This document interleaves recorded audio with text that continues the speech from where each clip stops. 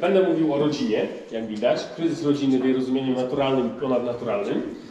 E, Bardzo mi się podoba ten cytat, bo rodzina, bądźcie pewni, także ludzie chociaż krewni. Nie znalazłem autora. Niektórzy mówią, że Lec, niektórzy mówią, że... nie pamiętam w tej chwili, ale jest parę pomysłów, ale nikt nie jest pewny, kto to, kto to powiedział. E, Tak.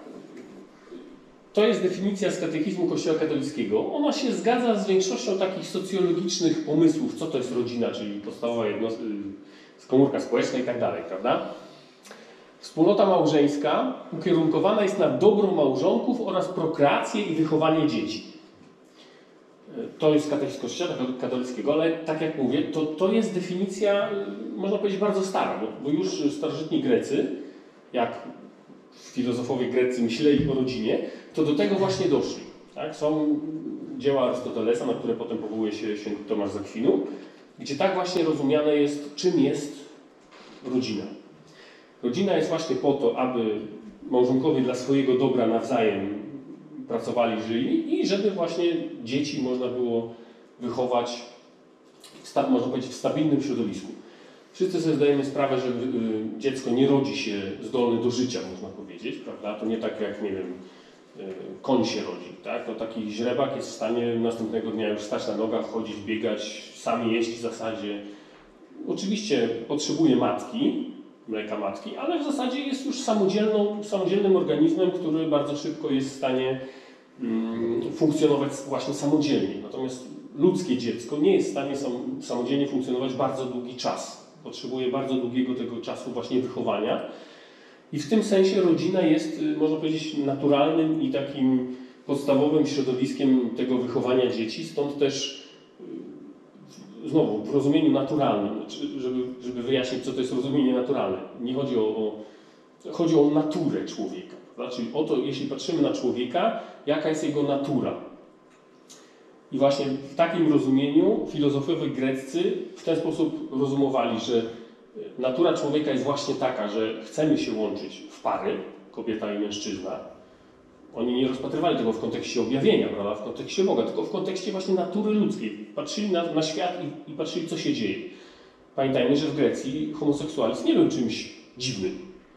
Przeciwnie, Platon pisze bardzo pozytywnie o homoseksualizmie, że właśnie kobieta jest do rodzenia dzieci, ale mężczyzna to się powinien zabawiać z chłopcami, żeby móc realizować swoje, prawda, upędy seksualne. Więc dla nich to homoseksualizm nie był czymś dziwnym czy czymś złym, nie traktowali tego w kategoriach właśnie moralnych, ale naturę odczytywali w ten sposób, że związek kobiety i mężczyzny jest naturalny, bo prowadzi, może prowadzić do poczęcia dziecka i to dziecko powinno się wychowywać właśnie w związku kobiety i mężczyzny, bo to jest naturalne w rozumieniu właśnie takim, można powiedzieć, biologicznym.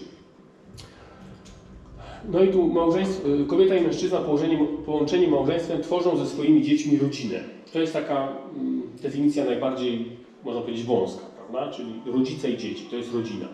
Czasami się też bierze definicję szerszą, dziadkowie, kuzyni, prawda, cały klan to może być rodzina, tak? A to jest taka wersja najbardziej, najbardziej naturalna. I y, ka, zobaczcie, katechizm powołuje się na, na coś, co Kościół mm, mówi, o, o, Kościół mówi o czymś takim jak prawo naturalne, właśnie wypływające z natury człowieka. Należy rodzinę uważać za normalny punkt odniesienia w określaniu różnych stopni pokrewieństwa. Tak? Związek małżeński i rodzina jest uprzedni wobec uznania go przez władzę publiczną. W tym sensie, że jest naturalny. Kobieta i mężczyzna tworzą rodzinę, nieważne czy państwo uznaje to za rodzinę, albo co państwo uznaje za rodzinę, albo co ktokolwiek uznaje za rodzinę. Bo pomysły mogą być różne, prawda? Jak wygląda rodzina. I na świecie widzimy różne pomysły definiowania rodziny. Natomiast w rozumieniu właśnie prawa naturalnego związek kobiety i mężczyzny jest uprzedni i jest naturalny właśnie jako ten, który wypływa z natury człowieka. Właśnie. Y, oczywiście wśród prawników jest dyskusja na temat prawa naturalnego. To nie jest y, y, taki oczywisty temat. Są, są prawnicy, którzy nie uznają prawa naturalnego. Y, I właśnie jest dyskusja między y, takim podejściem, do, że jest prawo naturalne i prawo stanowione. Prawo naturalne właśnie jest powszechne, ponadczasowe, niezależne, samoistne, niezmienne. Bo wypływa właśnie z natury człowieka, człowieka jako osoby, człowieka jako członka społeczeństwa. I na przykład, dlaczego uważamy człowieka za cenniejszego od jakiegoś zwierzęcia? Czy da się to w jakikolwiek sposób uzasadnić pozareligijnie? Prawda? Czy człowiek niereligijny albo innej religii y, jest w stanie uzasadnić, dlaczego akurat człowiek jest, cen, życie ludzkie jest cenniejsze niż życie krowy, świni, dwóch delfinów, prawda, i tak dalej, nie? Słucham? Karpia, prawda? Prawo naturalne, rozumiane w ten sposób, właśnie jakby Kościół bardzo, bardzo, no, Kościół używa, popiera koncepcję prawa naturalnego, zresztą też z powodów biblijnych, bo Biblia y, mówi wprost o tym, prawda, że Bóg objawił się przez, y, w swoim słowie, prawda, przez Jezusa Chrystusa, ale też objawił się poprzez Księgę Świata. Prawda? Czyli cały świat stworzony jest objawieniem się Boga. I rozpatrywanie świata, natury świata, przybliża nas do, tego, do rozumienia natury Boga.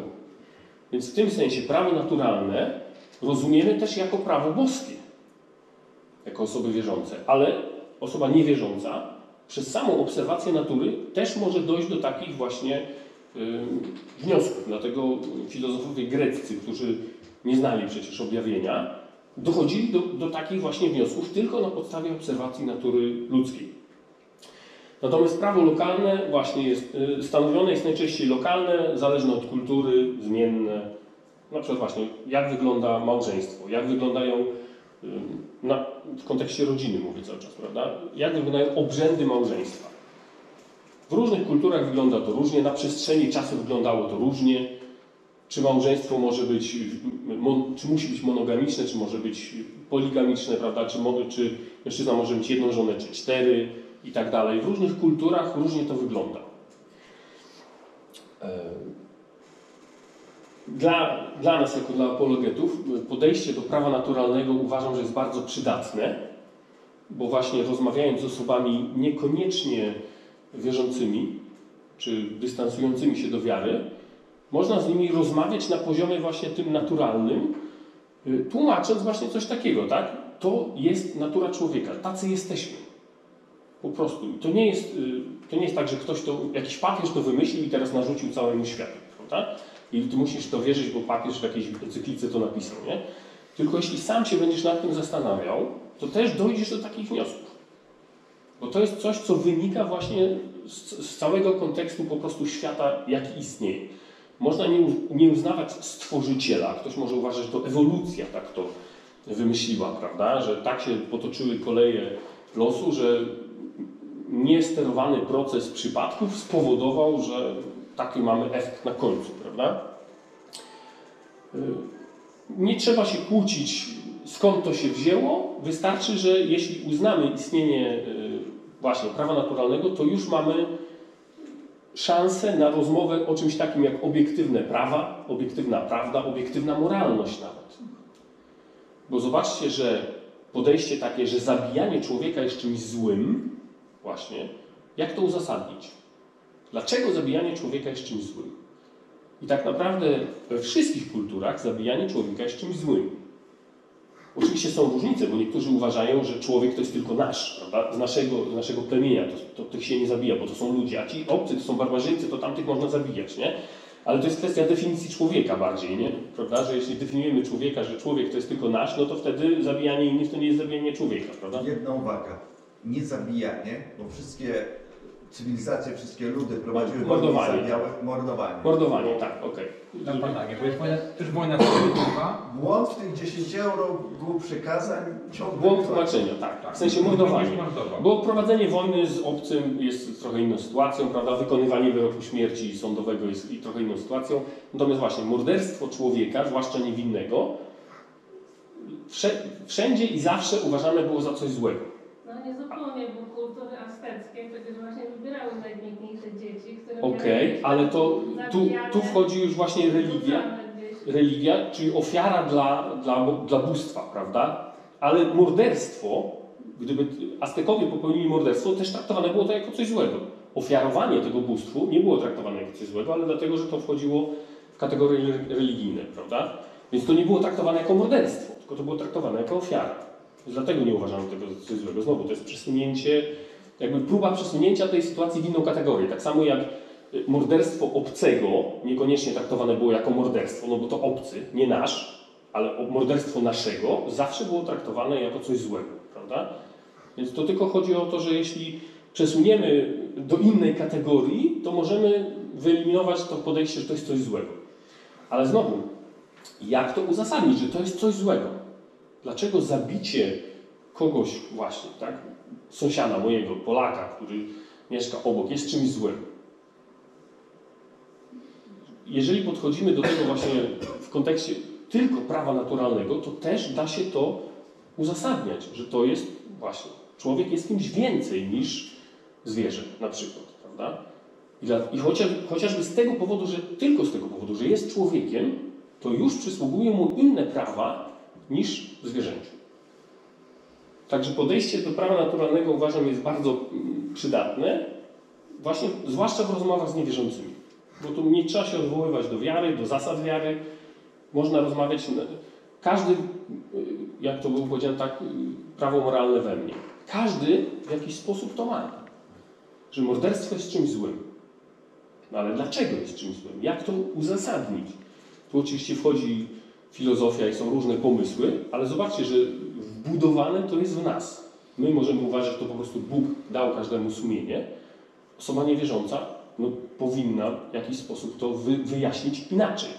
Jest próba wyjaśnienia y, właśnie ewolucyjnego, że to ewolucja nas tak zaprogramowała, że tak uważamy, no, ale to jest takie raczej, raczej słabo. Nie widziałem dobrego uzasadnienia, które by to, które by to pokazywało.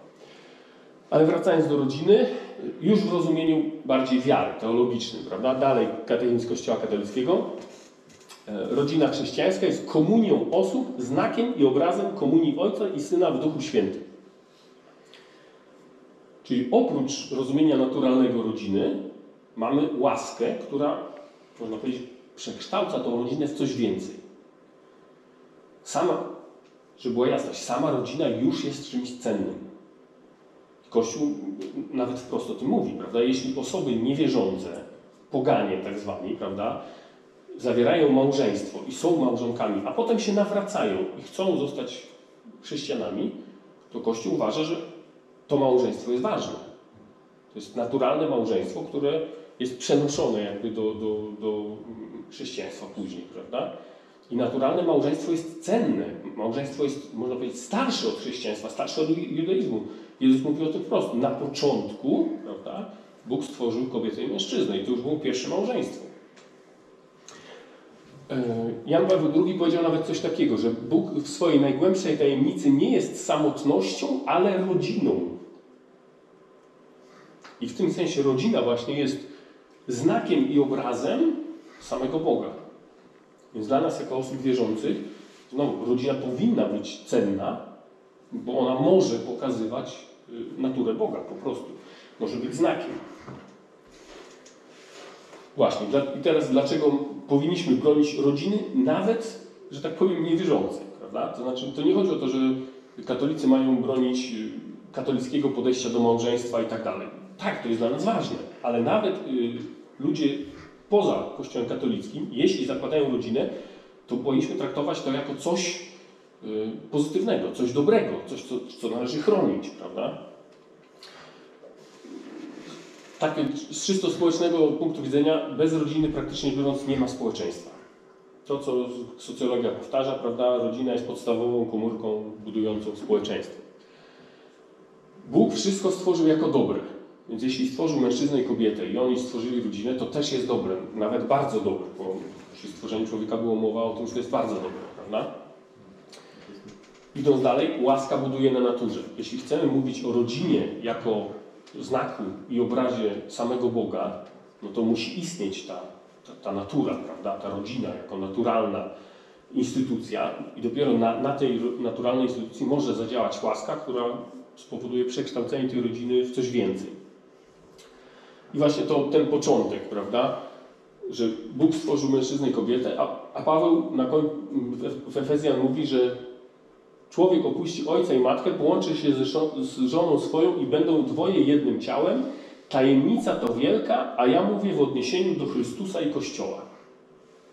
I tu właśnie Paweł wskazuje na ten aspekt już łaski, że jest natura, mężczyzna i kobieta tworzą rodzinę, a sakrament powoduje coś więcej, prawda? Że to jest sakrament, tajemnica wielka, że ten związek czysto ludzki, małżeński może stać się znakiem czegoś dużo więcej, łaską, która pokazuje na związek Chrystusa i Kościoła. Nie widać trochę, ale spróbuję, spróbuję trochę powiedzieć o co chodzi. W społeczeństwie istnieją pewne instytucje, pewnego rodzaju, mm, no, załóżmy instytucje społeczne, które, które mają swój cel. Pierwsza kolumna cel, druga wpływ, trzecia zasięg. Rodzina jako podstawowa taka społeczna mm, jednostka. No celem rodziny, tak jak pokazywałem, naturalnym nawet, prawda, jest miłość, czyli dobro małżonków, dobro dzieci, wychowanie potomstwa. Wpływ to jest właśnie moralność, wychowanie, transfer norm. No bo na tym polega rodzina, prawda, że małżonkowie działają na rzecz swoją i na rzecz swoich dzieci, wychowując te dzieci, przekazując im pewne normy. Zasięg jest lokalny, prawda? No bo rodzina jest malutka po prostu i, i oddziaływanie jest wewnątrz tej rodziny, rzadko kiedy na zewnątrz, ewentualnie na jakąś najbliższą rodzinę, jeszcze taką tam kuzynów i tak dalej, nie? Stowarzyszenia i fundacje, czyli generalnie wszystkie takie, można powiedzieć, organizacje oddolne, w polskim prawie one są właśnie y, uznawane za stowarzyszenia i fundacje, ale nie muszą to być y, jednostki prawnie zarejestrowane. No, większość wspólnot w Kościele katolickim nie ma formy prawnej, prawda?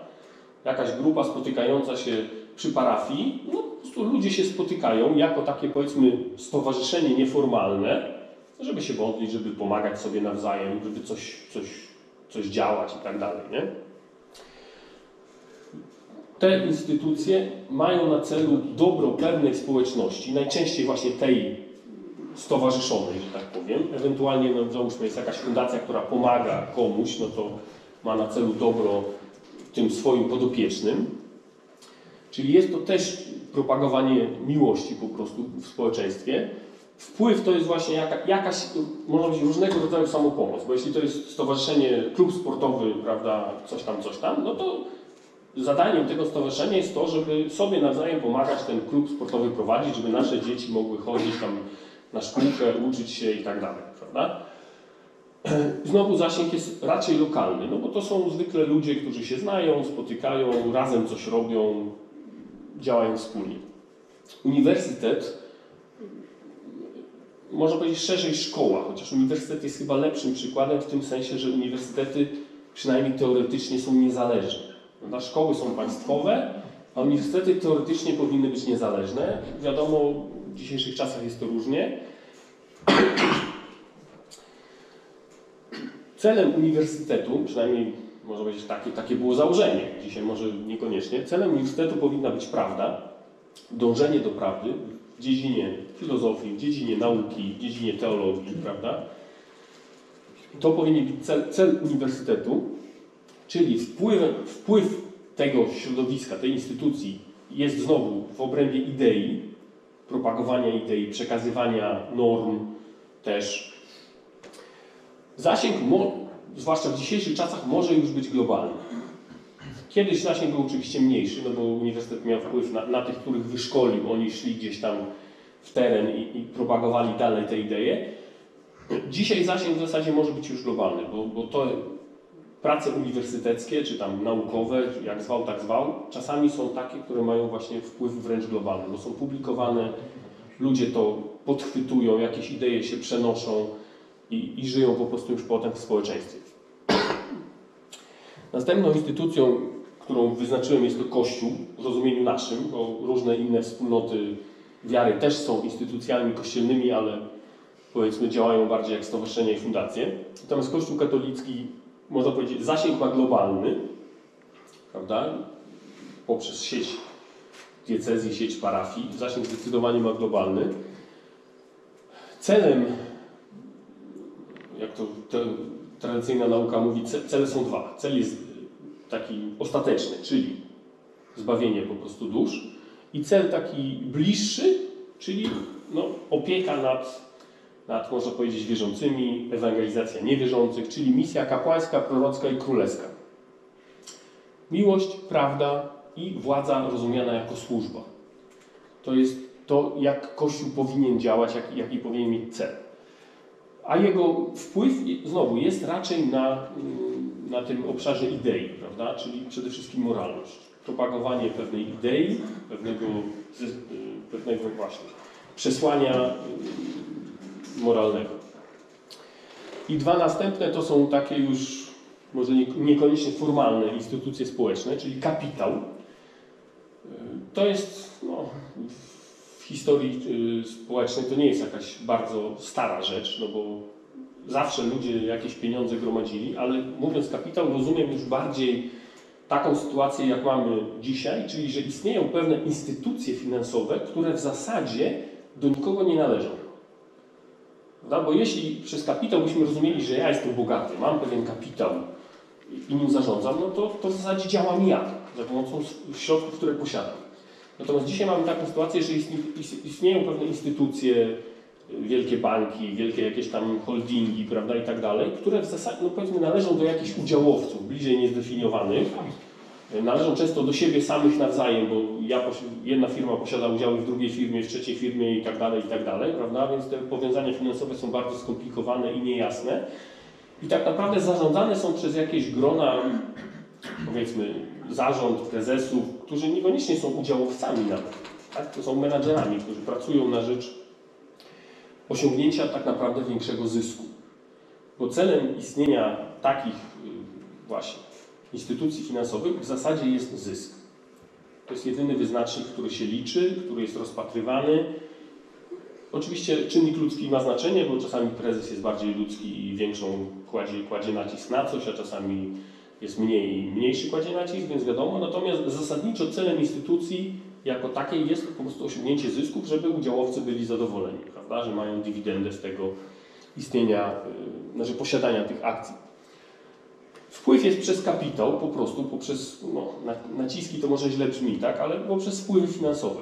No bo bank może udzielić kredytu, a może nie udzielić. To dla niektórych jest żyć albo nie żyć, prawda? Jakaś tam instytucja finansowa może zainwestować, w, powiedzmy, w danej okolicy, nie wiem, zbudować fabrykę, e, czy coś w tym stylu, albo nie. To też dla, może być dla, dla innych po prostu wpływ, który znaczy być albo nie być, albo przynajmniej jakąś tam dużą różnicę. Więc taki, taki wpływ finansowy może mieć wielkie znaczenie na danym terenie. Napisałem tutaj zasięg globalny, bo często są to już instytucje globalne, które działają ponadpaństwowo i nawet potrafią mieć wpływ na, na politykę państwową. Prawda? Bo jeśli korporacja jakaś rozmawia z rządem, że zainwestuje tutaj 100 miliardów i rząd robi jakieś nie wiem, ulgi podatkowe czy cokolwiek, no to znaczy, że ten wpływ kapitału jest potężny, bo potrafi zmienić nawet y, prawo państwowe, prawda? Nie wprost, ale poprzez nacisk. No i ostatnią instytucją społeczną państwo rozumiane jako, no jako aparat państwowy. Tak? Nie jako ludzie, naród, tak? tylko po prostu jako aparat państwowy, urzędniczy, zarządzający i tak. Zasadniczo celem tak rozumianego aparatu jest po prostu władza. Znane powiedzenie, władza deprawuje, władza absolutna deprawuje absolutnie, ale najczęściej tak to działa, prawda? że ktoś, kto, kto ma władzę, chce mieć więcej władzy. I wszystkie praktycznie urzędy działają w ten sposób, że jeśli mogą, to, to próbują ten zasięg swojej władzy rozszerzyć. Wpływ, napisałem tutaj, monopol na legalną przemoc. Bo zobaczcie, że w zasadzie ostatecznym y, argumentem państwa jest po prostu użycie przemocy. Jeśli nie płacisz podatków, przyjdzie policjant, weźmie cię za fraki i wsadzi cię do więzienia, prawda? Czyli użyje wobec ciebie fizycznej przemocy. Ograniczy twoją wolność i tak dalej, prawda? Ale państwo może to robić, zgadzamy się wszyscy na to, że legalnie może używać pomocy, przemocy, żeby zachować pewien porządek na terenie tego państwa, prawda? Że policja właśnie może używać przemocy i uważamy to za, za coś normalnego, prawda? I aparat państwowy może używać przemocy w niektórych oczywiście przypadkach i uważamy, że to za coś dobrego nawet, prawda? Bo dzięki temu mamy generalnie yy, właśnie pokój, na, czy tam spokój na terenie innego państwa, bo inni nie mogą legalnie używać przemocy i państwo te inne ośrodki, załóżmy mafia, tak, która chciałaby używać przemocy, no ale wchodzi właśnie w konflikt z państwem, które uważa, że ma, ono ma monopol na przemoc, więc zwalcza inne ośrodki, które próbują przemocą coś, coś wyegzekwować. Na francuskich armatach był taki napis ostatni argument który. No, dokładnie, tak. Zobaczcie, że w polityce międzynarodowej w zasadzie to, to jest argument do dzisiaj. Tak, to jest jedyny argument. Bo jeśli jakieś państwo chce poza terenem swojego państwa coś wyegzekwować, no to tak naprawdę jedyny argument jest taki, że mamy armię i wyegzekwujemy to, co chcemy, prawda? Jeśli nie mamy armii, to, to, to nie mamy szans tego wyegzekwować, bo kto nas będzie słuchał, jak my będziemy grzecznie prosić? A Watykan? Wa Watykan jest państwem, jest państwem, ale traktuje to jako kościół, prawda? Bo nie, nie używa, zobaczcie, że Watykan nie używa monopolu na przemoc. A FIFA? FIFA jest stowarzyszeniem, Ale ma y, na państwa władzę globalną. ok, ale ma wpływ poprzez kapitał, prawda? W tym sensie. Ale Kościół ma jest Niekoniecznie na kapitał. Ok, ale to działa na członków Kościoła. No tak. Tak? Czyli w ramach, w ramach Kościoła Kościół ma pewną władzę nad swoimi członkami. W tym sensie władza rozumiana jako służba, bo ekskomunika jest też y, no, środkiem, środkiem leczniczym też w pewnym sensie, prawda? Więc wewnątrz Kościoła ekskomunika nie jest y, użyciem przemocy, bo nikt tu nikogo przecież do więzienia nie wsadza, prawda? Ogłoszenie ekskomuniki jest też, można powiedzieć, w strefie idei. Jest to część moralności, część y, doktryny, natomiast nie, no, nie jest to monopol na przemoc. No ale Tak. właśnie ja nieprzypadkowo przełowałem FIFA. FIFA jest przykładem organizacji międzynarodowej, Tak. No ale która, która jednakże nie działa tylko na swoich członków, ponieważ działa na rządy państw, Tak. jest w stanie wymusić pewne rzeczy ze względu na, yy, na to, że, że organizuje pewien kawałek życia społecznego. Zresztą podobnie jak Facebook na przykład. Tak? dobra, ale to właśnie tak mówię, stowarzyszenie i to jest, to jest kapitał. Nie tylko lokalne, ale i globalne. W dobie e, internetu. Tak, lokalne, Okej. globalne, tak. Tylko, znaczy, no, kto jest właścicielem FIFA? No właśnie. Coca-Cola. Kto czerpie zyski z tego? Dlatego ja bym to traktował jako kapitał, tak? To oni się mogą przedstawiać, że oni są organizacją dobroczynną, charytatywną i cokolwiek. Korporacja po prostu. Ale to jest korporacja, która działa na pewnym y, obszarze tak, rozrywkowym, można powiedzieć. I tak jak y, filmy są wielkie tak, korporacje filmowe, Disney, który robi rozrywkę, tak FIFA robi innego rodzaju rozrywkę, prawda? Organizuje i czerpie z tego Ale wielkie narzędziem działania ich nie jest kapitał, nie? Nie no, jest ich narzędziem działania jest kapitał. Właśnie nie. Kary dla klubów. Słucham? A kary dla klubów? Nie, Ej, oni tam wszyscy... Oczywiście, ale to, że na przykład wiesz, y, y, któryś kraj zostanie wy, wyłączony z rozgrywek, przez to rząd może upaść autentycznie. Okej, ale, to, ale to jest kwestia finansowa. Tak, to nie, nie, to nie jest działanie kapitału. Mhm. To, to jest trochę co innego, tak? Bo kapitał to jest tak, że bank powiedzmy światowy nie da pożyczki albo y, jakieś tam y, parametry inwestowania y, y, zrobimy. I to jest działanie przez kapitał, nie? Natomiast tutaj jest działanie przez wpływ, to jest wpływ poza kapitałem, tak? Mamy zyski z, z, z, z, z tych imprez, czyli to, że jest kapitał. No, tak, tak, ale, ale bez- ale- bez- chodzi chodzi o to, że, że, e, że e, może oddziaływać na, na, na, na rządy krajów z tego względu, że jest tylu zwolenników piłki nożnej, na przykład, bo to jest przykład tylko FIFA, ale FIFA jest dobrym przykładem, to jest bardzo wpływowa organizacja, także może obawić rząd w jakimś kraju przez samo to, że wypuszczyć z rozgrywek e, daną reprezentację. Tak? No, no okej, no ale tak samo teoretycznie jakaś wielka korporacja mogłaby obalić rząd w danym kraju, czy przejąć tak naprawdę władzę, bo chce dostęp do ropy, do gazu, czy do złota, prawda? Mając wpływy kapitałowe po prostu. Zakręcenie kurka Tak, zakręcenie kurka, tak? Tego typu rzeczy. To, więc dlatego raczej bym to traktował jako właśnie jako kapitał. Dobrze, przechodząc dalej. Te instytucje oczywiście wpływają na siebie nawzajem w społeczeństwie. Znowu tutaj zrobiłem taką tabelkę, nie wiem czy dobrze widać, kolumny są tak samo rodzina, fundacje, Uniwersytet Kościół, Kapitał Państwo jest kto kogo. Czyli kto kogo wspiera, ewentualnie nie wspiera, prawda? Oczywiście po przekątnej puste i teraz załóżmy, stowarzyszenia i fundacje, można powiedzieć, raczej wspierają rodzinę. No bo to, jeśli traktujemy to, że to są lokalne jakieś działania, no to są robione przez ludzi po prostu, dla, można powiedzieć, dla siebie. Czyli to jest coś, co pomaga rodzinie jakoś egzystować w społeczeństwie. Uniwersytet w zasadzie nie wydaje mi się, żeby miał jakiś wpływ na, na, na rodzinę sensu stricto. Uniwersytet żyje w- sobie w swoim świecie, prawda, zajmuje się ideami, natomiast czy pomaga w jakiś sposób rodzinie, jako, rozumiana jako taka jednostka? Kształtowanie postaw. Książki, literatura, Okej, wykłady. tak, no tak, może są, są studia nad rodziną, prawda? Są jakieś e, studia psychologiczne, Chyba, tego chyba. typu rzeczy. Tak, Badania, oczywiście, że tak. Okej, dobra, to może, może za szybko postawiłem minus. Może plus też można tutaj postawić, nie? Bo są, są dziedziny, Na studiach można męża złapać. o, tak, popularne. Więc powinien, plus minus powinno być w takim razie. Kościół zdecydowanie, można powiedzieć, wpływa na rodzinę i dba o rodzinę, tak? Kościół zdecydowanie uważa, że rodzina jest ważna, należy rodzinę właśnie popierać, rozwijać i tak dalej, nie? Ale celibat. No ale to szczególnie. Kapitał w rozumieniu na przykład korporacji, w zasadzie dla kapitału to, czy będzie rodzina, czy nie będzie, jest mało istotne. Bo dla nich się liczy pojedynczy człowiek jako konsument.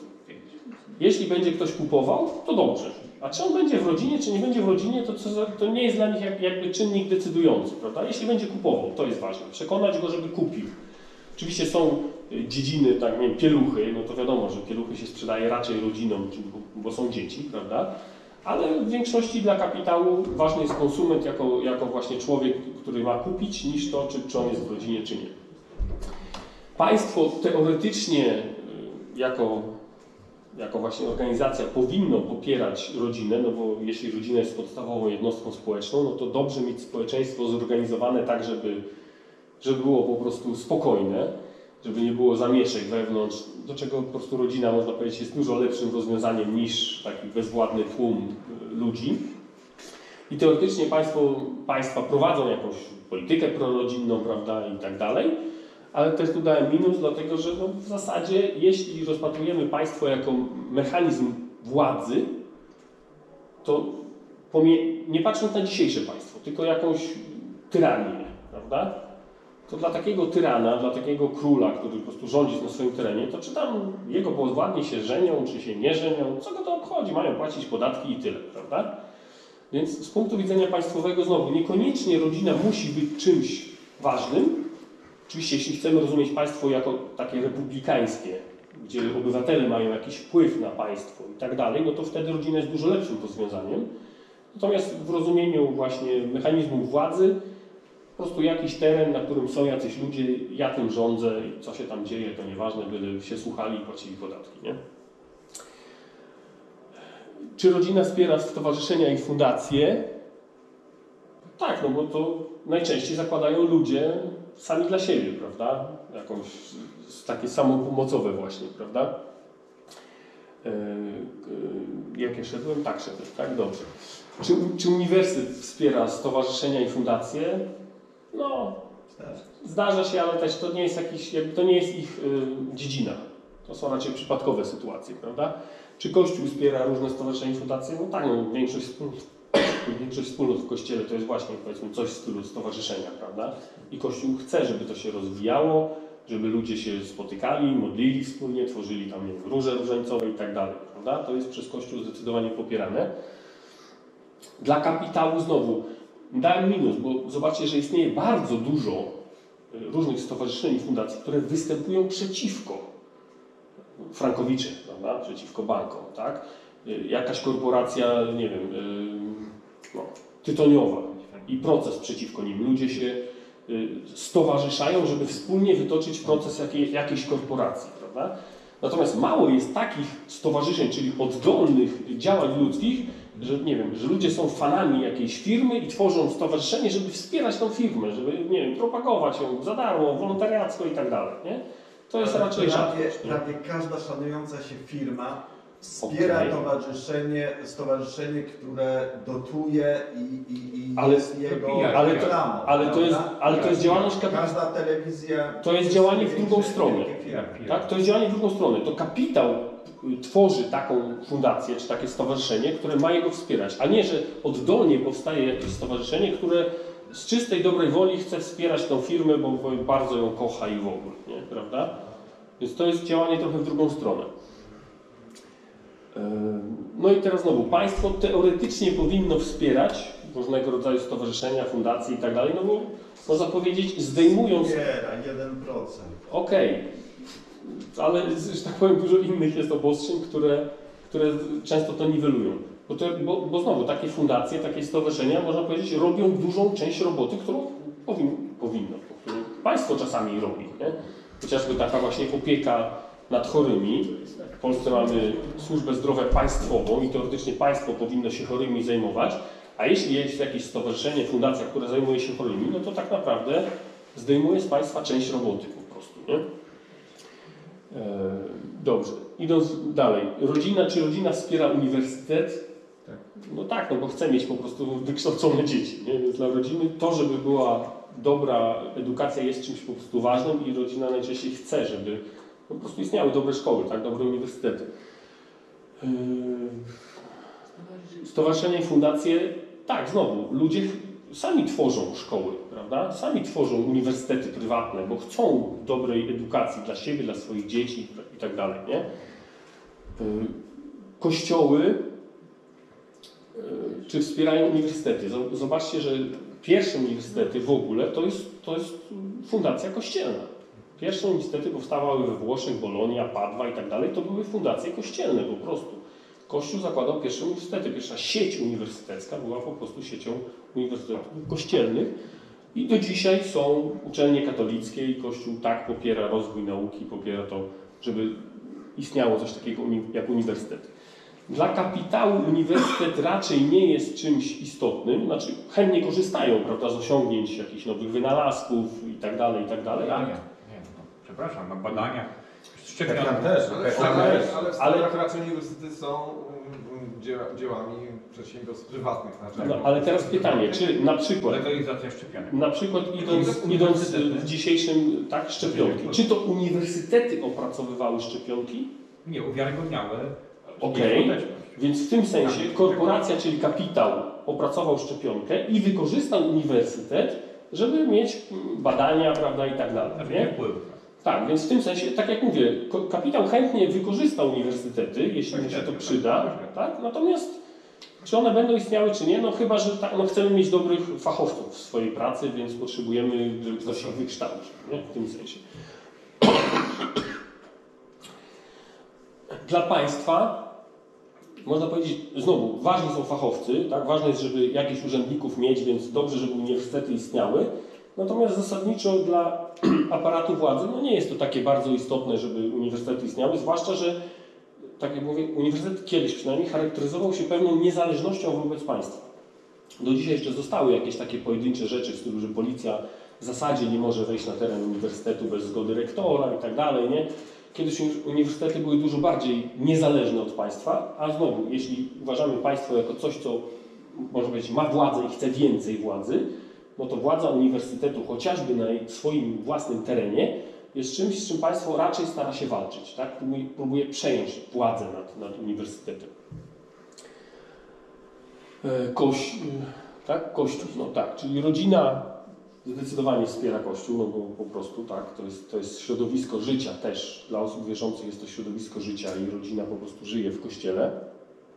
Stowarzyszenia i fundacje no, są takie, które walczą wprost z Kościołem, prawda? No, są takie, tam Związek Bezbożników, znany chyba z historii, nie? Al, albo generalnie różne ateistyczne są stowarzyszenia, które chcą zwalczyć Kościół. Ale jest dużo też takich, które po prostu ludzie Kościoła zawiązują, więc, więc działają na rzecz Kościoła. Uniwersytet stara, raczej wydaje się, że stara się nie, nie mieszać w sprawy kościelne, przynajmniej dzisiaj, prawda? Więc to raczej, raczej jest y, rozdzielna sytuacja. Chociaż wiadomo, zwłaszcza na terenie moralności, no, to, to, to się musi, y, no, musi się ścierać. I dla wielu naukowców Kościół jest przeszkodą, tak jak oni to rozumieją, prawda? Przeszkodą w, w y, badaniach naukowych. Na przykład, dlaczego nie można klonować człowieka? Kościół mówi, że nie można, tak? A taki naukowiec chciałby rozwijać naukę i on by chciał klonować człowieka i robić badania jakieś na, tym, na tych y, ludziach, prawda? I na, na embrionach i tak dalej, nie?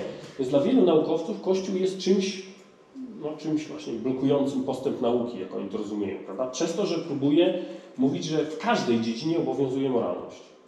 Nie jest tak, że jakaś dziedzina życia może być wyłączona z, z moralnością. Mm, Kapitał i państwo. No dla kapitału Kościół no, nie jest żadnym, prawda, żadną instytucją ważną, wręcz przeciwnie, poprzez, poprzez moralność raczej jest czymś, co przeszkadza. Bo jeśli kapitał chce sprzedać swój produkt, to często bez zwracania uwagi na moralność. Prawda? Reklamy raczej nie, jak oglądacie reklamy, raczej kwestie moralne nie mają tam znaczenia i często są reklamy wręcz amoralne, tylko po to, żeby sprzedać produkt. Prawda?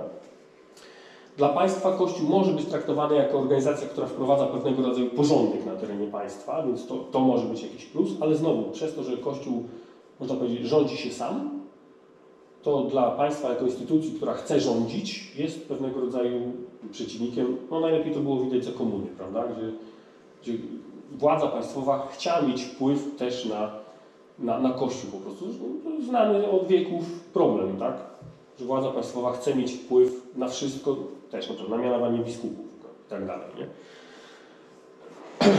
I ostatnie państwo, dla rodziny państwo jest ważne, no bo jeśli chcemy żyć po prostu w spokoju, żeby nam nikt domu nie obrabował, nie spalił i tak dalej, to chcemy mieć państwo, które dba po prostu o porządek, więc rodzina jak najbardziej działa, można powiedzieć, na rzecz państwa. Y, Stowarzyszenia i fundacje najczęściej no też są oczywiście takie tam anarchicz, anarchizujące, prawda, które by wszystkie państwa rozwiązały i tak dalej, ale zasadniczo raczej też dzięki temu, że istnieje pewne prawo, pewien, pewien porządek na, na terenie państwowym, to, to, to państwo jest wspierane przez różne stowarzyszenia. Uniwersytet, jako że stara się być niezależny, no to raczej z państwem właśnie często walczy, żeby utrzymać tą swoją niezależność, żeby państwo za bardzo nie, nie ingerowało w jego, jego działanie. Kościół, zobaczcie, że Kościół jest, można powiedzieć, propaństwowy w, rozumieniu takim, że na przykład propaguje patriotyzm. Prawda? Mimo, że Kościół jest organizacją globalną i wszyscy my, jako katolicy, uważamy się za członków społeczności globalnej, ale jednocześnie każdy z nas uważa się za Polaka i ma obowiązki też właśnie polskie, prawda? I Kościół popiera to, że tak, jesteś Polakiem, masz obowiązki polskie, dbaj o swoją ojczyznę i tak dalej. Nie? E, Kapitał, dla, dla państwa, dla kapitału raczej są przeszkodą, bo wprowadzają pewne regulacje.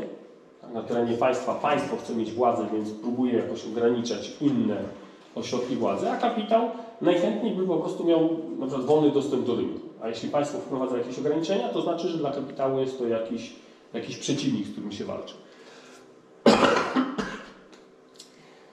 Dobrze. I teraz w takiej sieci powiązań zauważcie, że rodzina ma dosyć znikomy wpływ na pojedyncza rodzina, prawda? Ma dosyć znikomy wpływ na, na całość tych, tych społecznych powiązań. Państwo rozumiane jako właśnie aparat, władzy, chcąc, tak, chcąc, nie chcąc, jak to, jak to mógłby powiedzieć y, Lord Parkinson, próbuje przejmować władzę nad coraz szerszą dziedziną, więc też próbuje przejmować władzę nad właśnie na przykład władzę rodzicielską. Zobaczcie, że władza rodzicielska, czyli władza w rodzinie, rodziców nad dziećmi, państwo bardzo mocno ingeruje, coraz mocniej ingeruje w tą dziedzinę, prawda? Przejmując coraz większe kompetencje y, w tej dziedzinie. Tak samo władza duchowa, to co mówiłem, tak? Państwo próbuje wpływać na Kościół.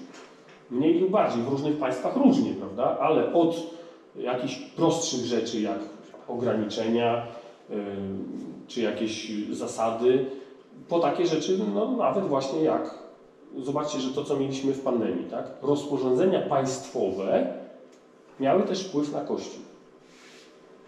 Tak? I Kościół, władza Kościoła, nawet na swoim terenie, na terenie y, parafii, był ograniczany poprzez władze państwowe. Tu tak napisałem, że kapitał trzyma się chyba najlepiej, bo wszystkie statystyki pokazują, że kto jak to, ale w pandemii to te największe firmy tylko zyskały. Wszystkie praktycznie korporacje, zwłaszcza medyczne, zarobiły olbrzymie pieniądze w czasie pandemii. I wygląda na to, że najlepiej po prostu wyszły na tym wszystkim. I w takim rozumieniu globalnym państwo ma pewną siłę, właśnie jako ten monopol na przemoc, prawda? więc może wprowadzać pewne zasady i tak naprawdę tylko kapitał, jako, rozumiany jako właśnie wielka, wiel, wielka, wielka ilość pieniędzy, ma wystarczającą siłę, żeby coś na państwie wymusić. Wręcz wymusić, nie tylko wynegocjować, ale wręcz wymusić poprzez właśnie działania kapitałowe. Tak, aktualny przykład tych ograniczeń. Niektórzy mówią, że Polska jest państwem wyznaniowym, katolickim, a przykład realny, dzisiejszy, wszyscy to widzieli. Państwo podjęło pewne działania i Kościół po prostu uległ tym działaniom. Minister powiedział, koniec, zamykamy kościoły i Kościół uległ temu, prawda? Tak, bez sprzeciwu. To nie było jakoś tak, że to, że to y, biskup, konferencja biskupów y, decydowała o tym, jakie mają być ograniczenia w kościołach, prawda? Więc jeśli ktoś będzie twierdził, że Polska jest państwem te, teokratycznym, gdzie, gdzie księża rządzą, no to chyba już dzisiaj chyba się tego nie da utrzymać po prostu. To by- Były negocjacje z episkopatą. Okej, no były negocjacje, bo Kościół próbował właśnie negocjować jako jeden z partnerów rozmowy, ale widać było, widać było kto, kto tak naprawdę tutaj ma, jest tą stroną silniejszą i kto narzuca swoje rozwiązania. Prawda? To nie Kościół narzucił swoje rozwiązania rządowi, tylko odwrotnie. Nie? Tak, i to, co no, już mówiłem, dla kapitału w zasadzie wystarczy istnienie jednostek jako konsumentów, którzy będą kupowali towary. To, czy oni będą w rodzinie, czy będą szczęśliwi, czy będą nieszczęśliwi, są wszystko już y, nieistotne szczegóły. Ważne, żeby kupowali, prawda? Po prostu. I w tym sensie kapitał nie ma żadnego, znaczy żadnego, no powiedzmy, żadnego zysku w tym, żeby popierać na przykład istnienie rodziny. Nie? Tutaj troszeczkę to, co Marek stwierdził a propos, że FIFA na przykład ma pewien wpływ, czy generalnie pewne organizacje mają pewien wpływ, dlatego że o, oczywiście oprócz kapitału, na przykład, czy oprócz władzy, tak jak państwo, też ma wpływ pewna ideologia. Bo za kapitałem może stać pewna ideologia, prawda? Za państwem może stać pewna ideologia. Więc niektóre, y, niektóre rozwiązania, niektóre działania są motywowane niekoniecznie kapitałem, ale ideologią. I w tym sensie, tak, kto chce stworzyć nowego człowieka, to musi przekazać po prostu nowe normy. Tak jak kiedyś próbowano wychować człowieka sowieckiego, to po prostu przekazywano mu nowe normy, prawda? Tak samo dzisiaj, jeżeli chce się wychować nowego człowieka, to próbuje się przekazać nowe normy. Zasadniczo y, rodzina, szkoła, uniwersytet i kościół są to organizacje, można powiedzieć, konserwatywne.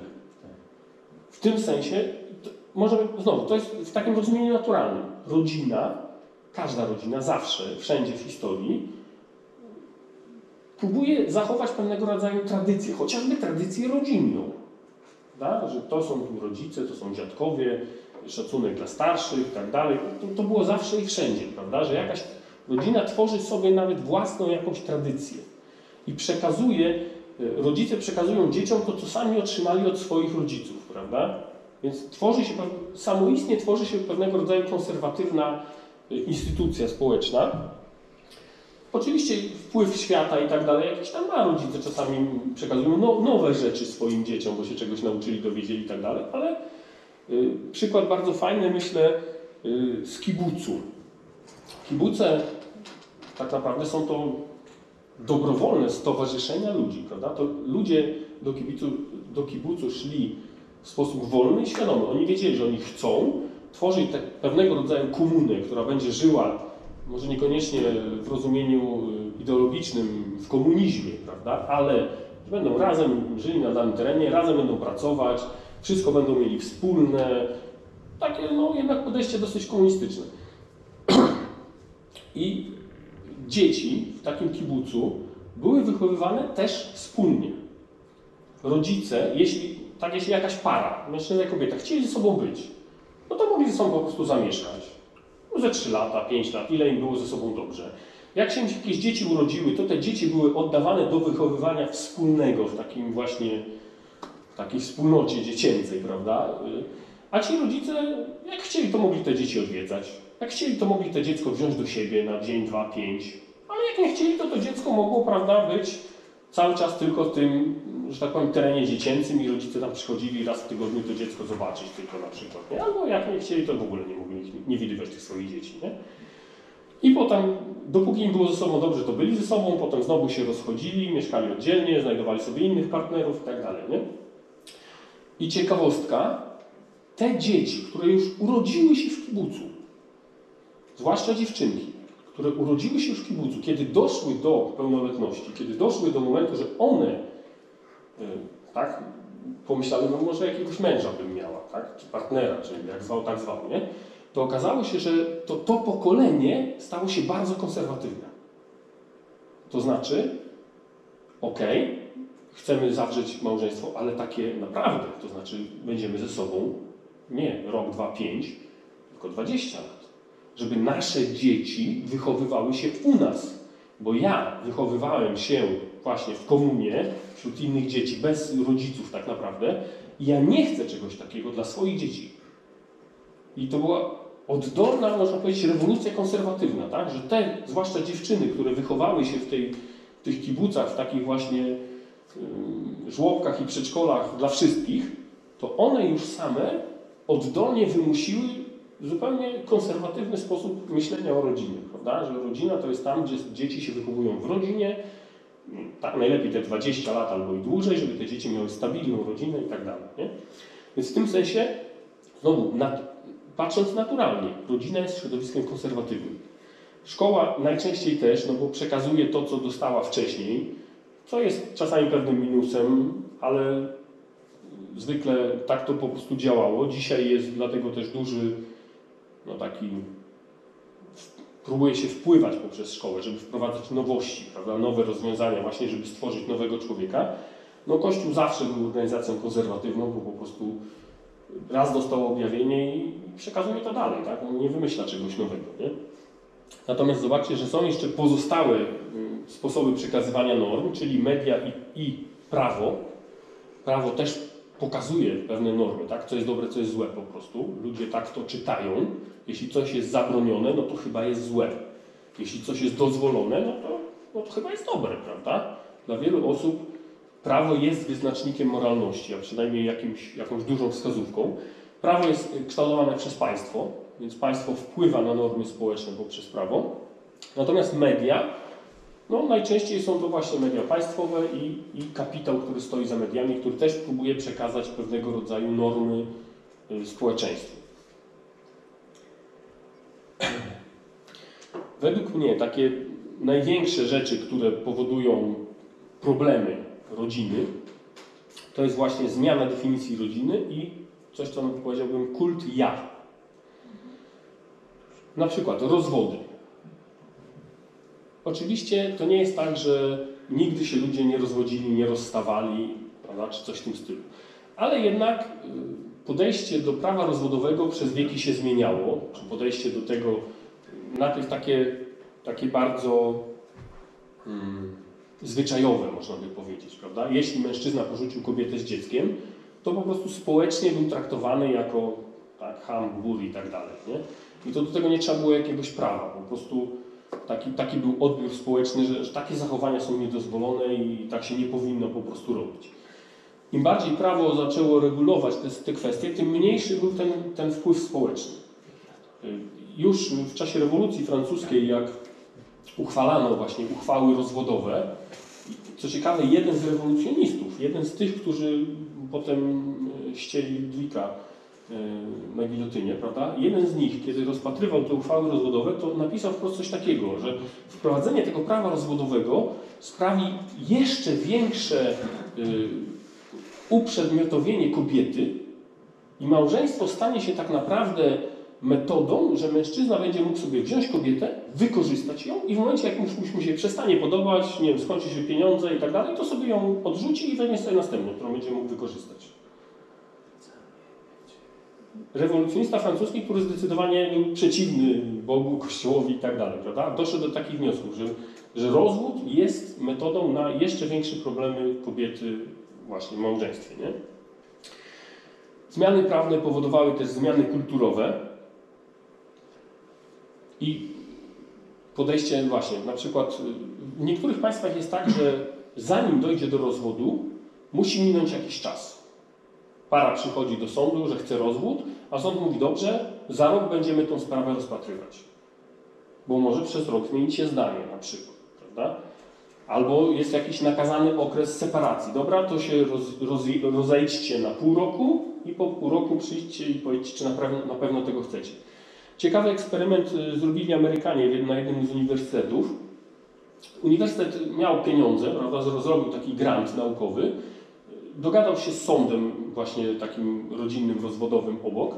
I jak para przychodziła, że chce się rozwieść, to ten sędzia mówił tak, ok, mogę Wam poprowadzić sprawę rozwodową, normalnie według prawa to będzie Was kosztowało, w Stanach rozwody są, nie są tanie, ale możecie to mieć, albo mogę Wam zrobić tą sprawę rozwodową za darmo, bo uniwersytet za to zapłaci, jeśli weźmiecie udział w tym właśnie grancie uniwersyteckim, który polega na tym, że przez rok będziecie chodzili na terapię rodzinną na tym uniwersytecie. Nie musicie, znaczy musicie być obecni, prawda? Przez rok, tam chyba raz w tygodniu, czy tak, chyba raz albo dwa razy na miesiąc, jakoś tak. Musicie być obecni na tych spotkaniach właśnie terapii rodzinnej. Jeśli się na to zgodzicie, to za rok i przyjdziecie za rok, powiecie, że chcecie rozwód, to ja wam za darmo ten rozwód orzeknę, prawda? Bo uniwersytet za wszystko zapłaci, nie? W tym eksperymencie wzięło tam ponad 130 par. Zgodziło się na, na, na, tak, na taki właśnie roczny, roczną próbę terapii. Y, Opublikowano z tego wyniki. 30% par po roku się rozwiodło. Tylko. Tylko 30, około tam, tak, mniejsza o dokładne szczegóły, ale około 30% par się rozwiodło. W wynikach tego eksperymentu, bo uniwersytet zrobił z tego takie badanie prawda, socjologiczne i opisali to, i w wynikach napisali, że y, te pary, przynajmniej jedna ze stron w tej parze przychodziła na tą terapię, ale nie chciała w żaden sposób współpracować. Ona przychodziła, siedziała, odsiedziała swoje, wychodziła. Czyli jakby z założenia y, y, przychodzę tu tylko dlatego, żeby mieć ten rozwód za darmo. Nie chcę, ja- się, chcę się rozwijać, nic, nic nie chcę zmieniać, prawda? I trudno, wytrzymam rok, żeby po prostu mieć to za darmo, prawda? Więc te 30% par, które można powiedzieć było zdecydowane i w żaden sposób nie chciało współpracować, po roku się rozwiodły.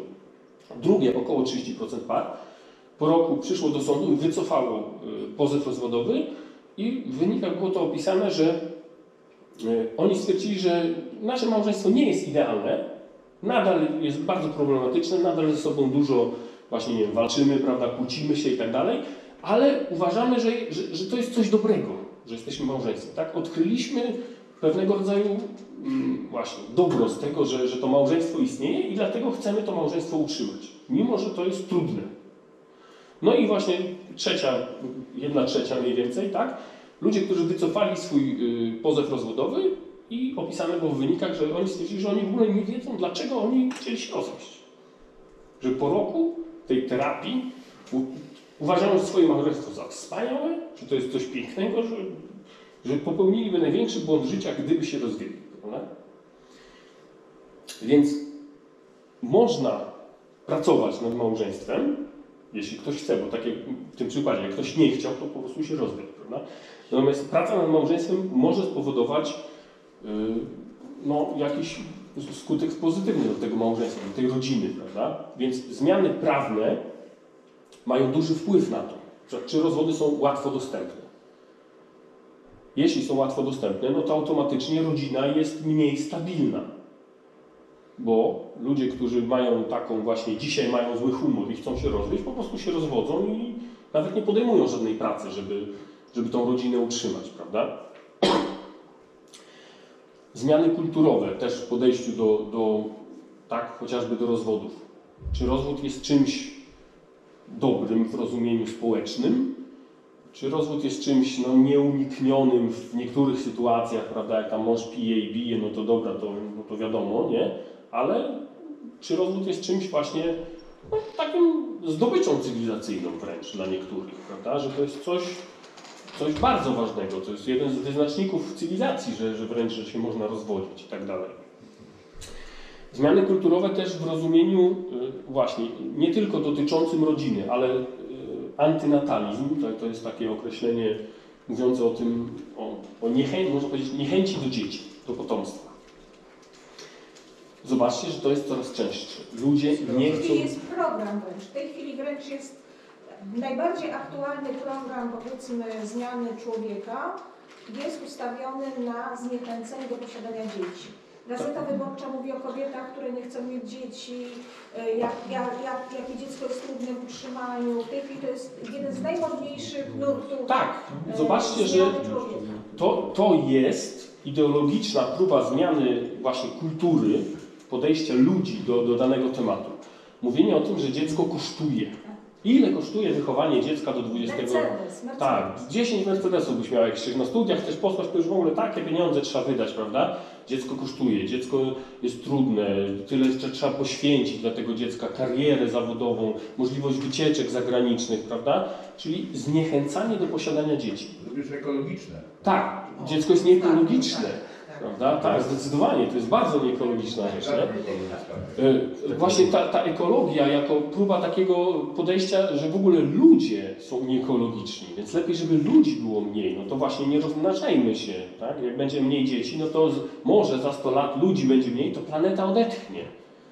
Prawda? No, można powiedzieć, komuniści próbowali to wprowadzić w sposób bardziej y, brutalny, czyli mordowali po prostu od razu, a tu jest taka próba stopniowego zmniejszenia ilości populacji, prawda? Słucham? Taka humanitarna. Tak, taka bardziej humanitarna próba zmniejszenia ilości populacji, prawda? To ma wpływ na podejście po prostu ludzi do właśnie do małżeństwa. Bo po co mam zakładać rodzinę, jak i tak nie chcę mieć dzieci? Bo zobaczcie, dziecko jest jednym z elementów tej rodziny. Jeśli ktoś nie chce mieć dzieci, to, to po co ma zakładać do rodziny po prostu, prawda? Konsekwencje- Trochę za daleko idące teza może, ale... Absolutnie aktualna w przypadku mego syna. O, Co? Absolutnie aktualna w przypadku mego 32-letniego syna. Nie, ale wiesz, chciałem tylko powiedzieć, Bardzo że, blisko. niekoniecznie rodzina bez, bez dzieci, to, to nie może mieć dzieci, nie ma sensu. To, Zgadzam się, ale można powiedzieć dla wielu osób tak. chcemy mieć dzieci, no więc trzeba mieć rodzinę, prawda? Jeśli nie chcemy mieć dzieci, to nie musimy mieć rodziny. Niektórzy chcą być w małżeństwie i nie mieć dzieci, zgadza się. Ale są tacy ludzie, którzy mówią, nie chcę mieć dzieci, to po co mi rodzina, prawda? Po co mi kobieta czy mężczyzna, który będzie ze mną mieszkał? Ja sobie raz pomieszkam z tym, raz z tym, raz zwykle sam nie? i już, nie? No ale dodaj, że katolicka rodzina wymaga. Katolicka wymaga e, otwarcia na potomstwo. Tak. jak, jak, jak, jak wymusisz w pewnej chwili? Gdzie? Nie, Ale nie, nie. mówimy o założeniu. Założenie jest nieważne. Małżeństwo, jeśli... Założenie, tak, założenie katolickiej rodziny jest takie, że potomstwa. jeśli ktoś wchodzi w małżeństwo, do, przychodzi do sakramentu małżeństwa z podejściem nie chce mieć dzieci, to w zasadzie nie powinien utrzymać sakramentu małżeństwa, albo jeśli otrzyma, to to jest nieważne. Jeśli ktoś podchodzi do małżeństwa sakramentalnego właśnie z takim podejściem nie chce mieć dzieci nigdy, nie zachodzi związek. to nie zachodzi w związek małżeństwa, dokładnie, sakramentalny. Nie być z niemożność, z niemożnością. Tak. Nie Tak, nie, licz- nie mieć z niemożnością, tylko bardziej właśnie z intencją. E, Zmiany kulturowe właśnie związane z multikulti tak zwanym, prawda? Czyli to, że mieszają się różne kultury. E, Nawet w rozum, niekoniecznie rozumiane religijnie, prawda? Ale różne e, kultury, także właśnie różne podejścia do małżeństwa, różne podejścia do rodziny, bo wiadomo, że na, na Dalekim Wschodzie mają trochę inne podejście w ogóle do człowieka, prawda, i do rodziny. Nie? W Afryce mają inne podejście. Więc mieszanie kultur automatycznie powoduje, że rodzina jako tradycyjna taka instytucja, no też podlega takim wpływom niszczącym, no bo jednak osoby z dwóch różnych kultur mają większy problem ze stworzeniem stabilnego małżeństwa, bo mają dwa różne wzorce i muszą spróbować to jakoś pogodzić, żeby to po prostu działało. To jest możliwe, nie mówię, że nie, ale po prostu jest to trudniejsze, tak? bo jest więcej czynników, które powodują tarcia we, wewnętrzne. Cała ideologia związana właśnie z gender, czyli tak naprawdę z odrzuceniem obiektywizmu płci. Bo w zasadzie na tym to polega, prawda? Że jeśli mówimy, że płeć jest czymś obiektywnym, że istnieją kobiety i mężczyźni jako obiektywne y, byty, a ktoś mówi, że nie, no w zasadzie to, to jak ktoś się czuje kobietą, to jest kobietą, jak ktoś się czuje mężczyzną, to jest mężczyzną, no to, to, to automatycznie musi prowadzić do, też do zmiany na przykład definicji rodziny. No bo załóżmy, tak, jest mężczyzna i kobieta, zawierają, zawierają małżeństwo, a po dwóch latach on stwierdza, że on jest kobietą, a ona stwierdza, że ona jest mężczyzną. Jeszcze pół biedy. Okej, ale. Tak, zamieniają się rolami, dalej są rodziną, ale po dwóch latach stwierdzają, że on jest, on jest mężczyzną i ona też jest mężczyzną. No i dalej tworzą rodzinę, tak? Jeśli kobieta i mężczyzna niczym się nie różnią w rozumieniu właśnie obiektywnym, no to w każdej chwili można podmienić, prawda, słowo kobieta na słowo mężczyzna i mamy to samo. I w tym momencie, znowu, rodzina jest w takim, bo jeśli, w tradycyjnym rozumieniu rodzina to jest właśnie kobieta i mężczyzna i potomstwo tego związku. Dwóch mężczyzn nie może mieć potomstwa, tej kobiety nie mogą mieć potomstwa, więc w naturalnym rozumieniu nie mogą utworzyć rodziny. Jeśli chodzi o ten kult ja, coś takiego jak konsumpcjonizm, to co mówiłem o kapitale, prawda? Dla kapitału liczy się konsument, czyli człowiek, który będzie kupował. Są badania mówiące o tym na przykład, że rozwód dla kapitału jest pozytywną rzeczą. Bo małżeństwo, które do tej pory miało jeden dom, nagle mają dwa domy, bo się rozchodzą, prawda? Czyli muszą wykonać zakupy, kupić dom, y, urządzenia do tego domu, dwa samochody i tak dalej, i tak dalej, prawda? Więc wydają więcej. Więc dla kapitału to jest nawet często pozytywny e- efekt, że ludzie się rozwodzą, prawda? Więc y, w tym sensie konsumpcjonizm jest dla rodziny czymś no, rozbijającym właśnie najczęściej tą jedność rodziny, bo, bo propagowany jest w kontekście ja, że mi się należy, że ja powinienem mieć więcej, prawda, i tak dalej, nie? Coraz, coraz mniejszy jest, czy, czy w ogóle chyba w przestrzeni publicznej nie, nie są propagowane takie wzorce, można powiedzieć, jak tradycyjna cnota, umiarkowania na przykład, prawda? To nie jest coś, co dla kapitału jest czymś cennym. No nie, nie masz być umiarkowany, ty masz kupować, kupować, kupować jak najwięcej, mieć jak najwięcej. Wolność jednostki rozumiana jako swawola, Hedonizm. hedonizm, prawda? Ja mogę wszystko. Okej, no mogę wszystko. No dobra, jeszcze w granicach prawa, nie? No, bo wiadomo, jak przekraczam prawo, no to mnie państwo ukaże, nie? Ale w granicach pewnej kultury już często nie. Często się traktuje, o, przekroczył granicę kultury, to jest artysta, to jest w ogóle ktoś super, prawda, nadczłowiek i tak dalej, prawda? Czyli ta wolność zaczyna być swawolą, właśnie w takim rozumieniu, że mogę dogadać sobie jak tylko chcę, bo, bo ja jestem najważniejszy, prawda? Co za tym idzie, propa- propagowanie przyjemności, no a automatycznie odrzucenie moralności, prawda? To nie jest tak, że grzechy przeciw moralności to jest y, dopiero XX wiek. Nie, wiadomo, wcześniej też ludzie niekoniecznie zachowywali się moralnie, ale jednak pewna moralność była propagowana. Próbowano, żeby utrzymać społeczeństwo w jakim, jak, jako takim e, no, porządku, tak, to moralność służyła między innymi temu, żeby utrzymać pewien porządek społeczny. Dzisiaj często moralność jest całkowicie odrzucana, zwłaszcza w dziedzinie właśnie seksualnej, no bo ja mam prawo do przyjemności. Prawda? Takie, są, takie są hasła. Rozwój pornografii i antykoncepcji to jest, można powiedzieć, efekt tego. No bo pornografia jest to, można powiedzieć, nie y, w takim rozumieniu, jak to jest propagowane, prawda? Nieszkodliwy sposób wyładowania y, energii seksualnej. Dzisiejsze badania mówią, że zdecydowanie jest to sposób szkodliwy, ale tak to było propagowane, prawda? Tak samo antykoncepcja jako wyzwolenie kobiet. Że kobieta jest teraz już wolna, bo, bo może sama decydować o tym, kiedy będzie miała dziecko, a kiedy nie będzie miała dziecko. Co też tutaj było dołączane często aborcja jako metoda antykoncepcyjna, tak? Tak to było przecież często propagowane. To też powoduje, że małżeństwo, które, które czy, czy rodzina szerzej, prawda, które jest y, instytucją, gdzie dwie osoby pracują na rzecz wspólnego dobra, zderzone z takim przekazem, że to ty jesteś najważniejszy, no to jeśli ja jestem najważniejszy, to dlaczego ja mam się poświęcać dla kogoś? Moje dobro jest najważniejsze. A w małżeństwie wychodzimy z założenia, że dobro mojego współmałżonka jest ważniejsze niż moje. Takie pomysły jak samowystarczalność, samorozwój, prawda?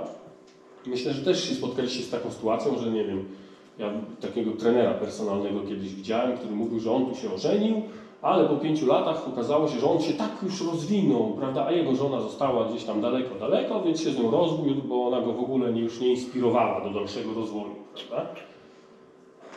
No więc pytanie, czy samorozwój jest jakimś takim właśnie bardzo ważną rzeczą, że ja No tak, że ja jestem najważniejszy, po prostu. I ta żona, ona jest po to, żeby mnie wspierać i mnie jeszcze jakoś ubogacać. A jak mnie nie wspiera, nie ubogaca, no to ja nie mam do niej żadnych, prawda, y, jakby dla niej żadnego dobra nie przekazuję, tylko ją odrzucam, żeby ktoś inny mnie wspierał i ubogacał.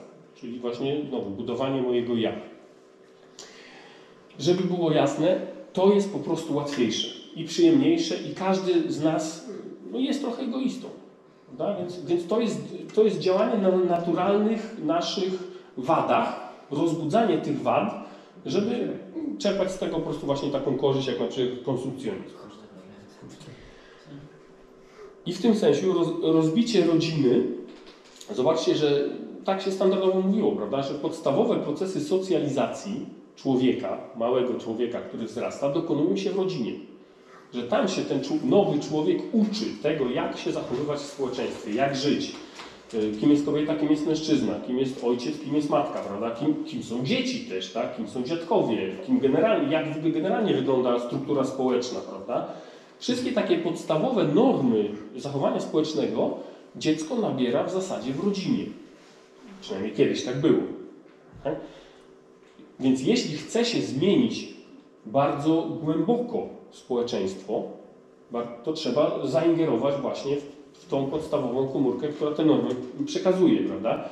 Raz, żeby dzieci już uczyć od najmłodszego czegoś innego, tu wchodzimy w kwestie ideologiczne, prawda? Jeśli chcemy przekazać dziecku pewną ideologię, omijając rodziców, no to na przykład tak, można w żłobku, czy w przedszkolu, czy w, czy w szkole próbować temu dziecku włożyć coś, na co rodzice niekoniecznie by się zgodzili, żeby ich po prostu pominąć. Też oczywiście y, wywiera się wpływ ideologiczny na rodziców. Tak? Jeśli rodzice przyjmą daną ideologię, no to oni sami będą ją propagować y, na swoje dzieci, więc to też jest oczywiście y, ważne. To, co kiedyś było opisywane jako tak, nowy, wspaniały świat, czyli różnego rodzaju tam utopie czy dystopie, takie można powiedzieć futurystyczne, prawda? że właśnie dzieci rodzą się in vitro i w zasadzie rodzice się już nie muszą nimi zajmować, prawda? bo dzieci się rodzą i, i wychowane są właśnie gdzieś tam w takiej komunie, a rodzice mogą sobie, y, to co mówiłem o tym kibu, kibucu, tam też były wywiady z tymi rodzicami i oni już tacy, prawda, w zasadzie dziadkowie już w momencie tych wywiadów, oni mówili wprost, dla nas to było wygodne. Mogliśmy sobie pracować w dzień, wieczorem się spotkać z tą osobą, którą akurat kochaliśmy, prawda, być ze sobą, cieszyć się sobą, dziećmi się nie zajmować po co, prawda, ktoś się innym tymi dziećmi zajmował, nie trzeba było wstawać w nocy, pieluch zmieniać i tak dalej. Dla nas to było po prostu wygodne. Prawda? Więc tak, działanie właśnie na takich instynktach jak egoizm, jak wy, wygoda, to jest próba też zmiany społecznej po prostu.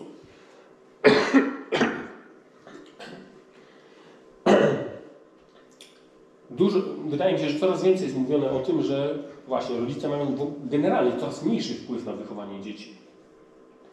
Z jednej strony dlatego, że często rodzice sami nie bardzo wiedzą, chcą, no właśnie, wygodniejsze jest się nie zajmować dziećmi niż zajmować się dziećmi. Z drugiej strony dziecko jest wychowywane coraz częściej od małego poprzez media, tak? poprzez smartfona po prostu. Jeśli dziecko małe dostaje smartfona z dostępem po prostu, no to to jest yy, kanał komunikacji, który ma coraz większy wpływ na dziecko. Zobaczcie też, że nasz sposób y, funkcjonowania taki, można powiedzieć, w korporacji, tak? czyli w takiej y, y, w miejscu pracy większym niż moja własna firma. Prawda? W tym sensie, jeśli jesteśmy gdzieś zatrudnieni, to w zasadzie dla firmy ważny jest pracownik tak zwany dyspozycyjny, prawda? No więc lepszy jest pracownik, który nie ma dzieci.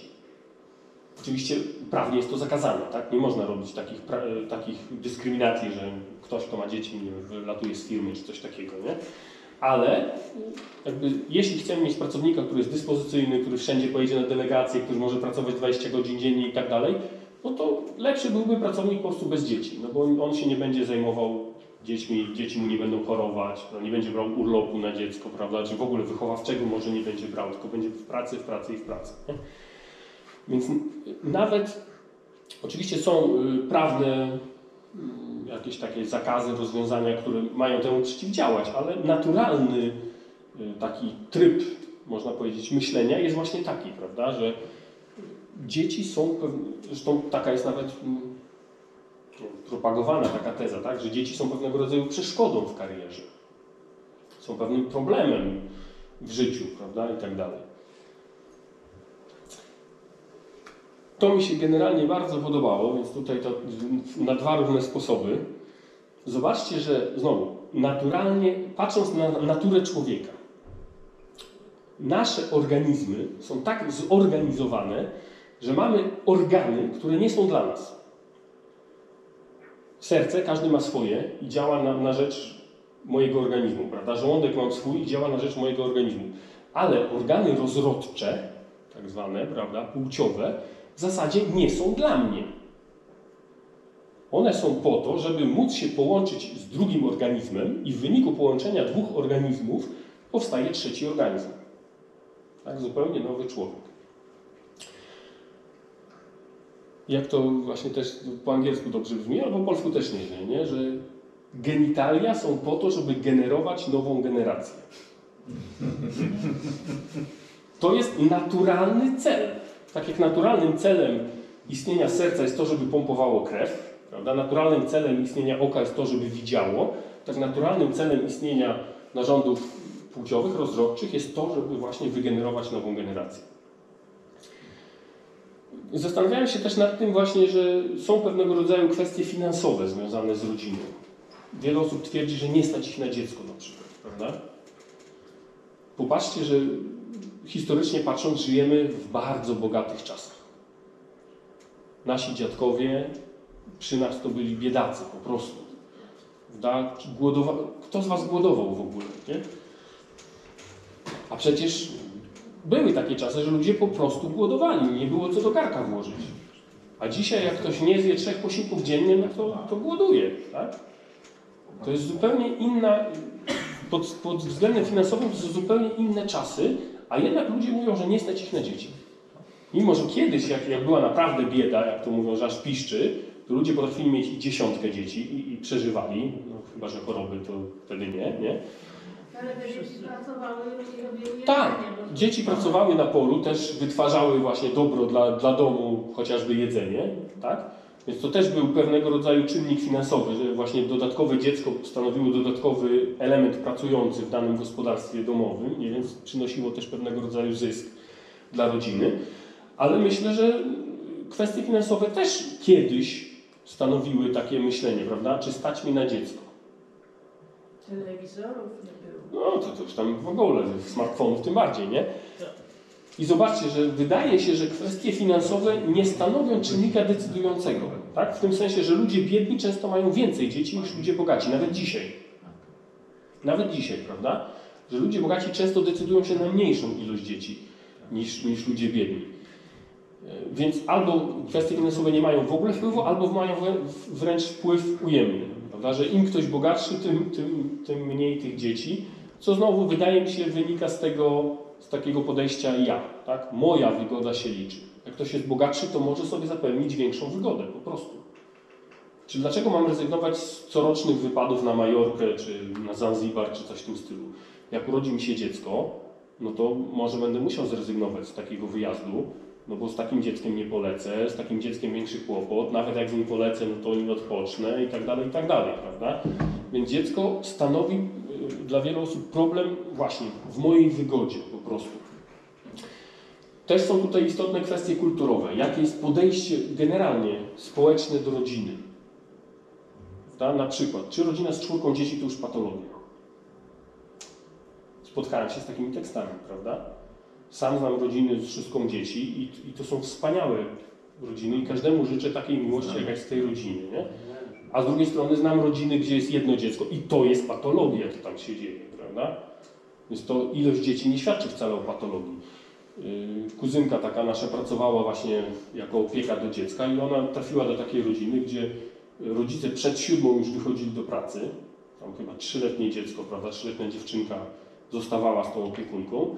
Rodzice wracali do domu po 21 najczęściej w tygodniu, więc to dziecko często już spało, więc cały dzień było bez rodziców.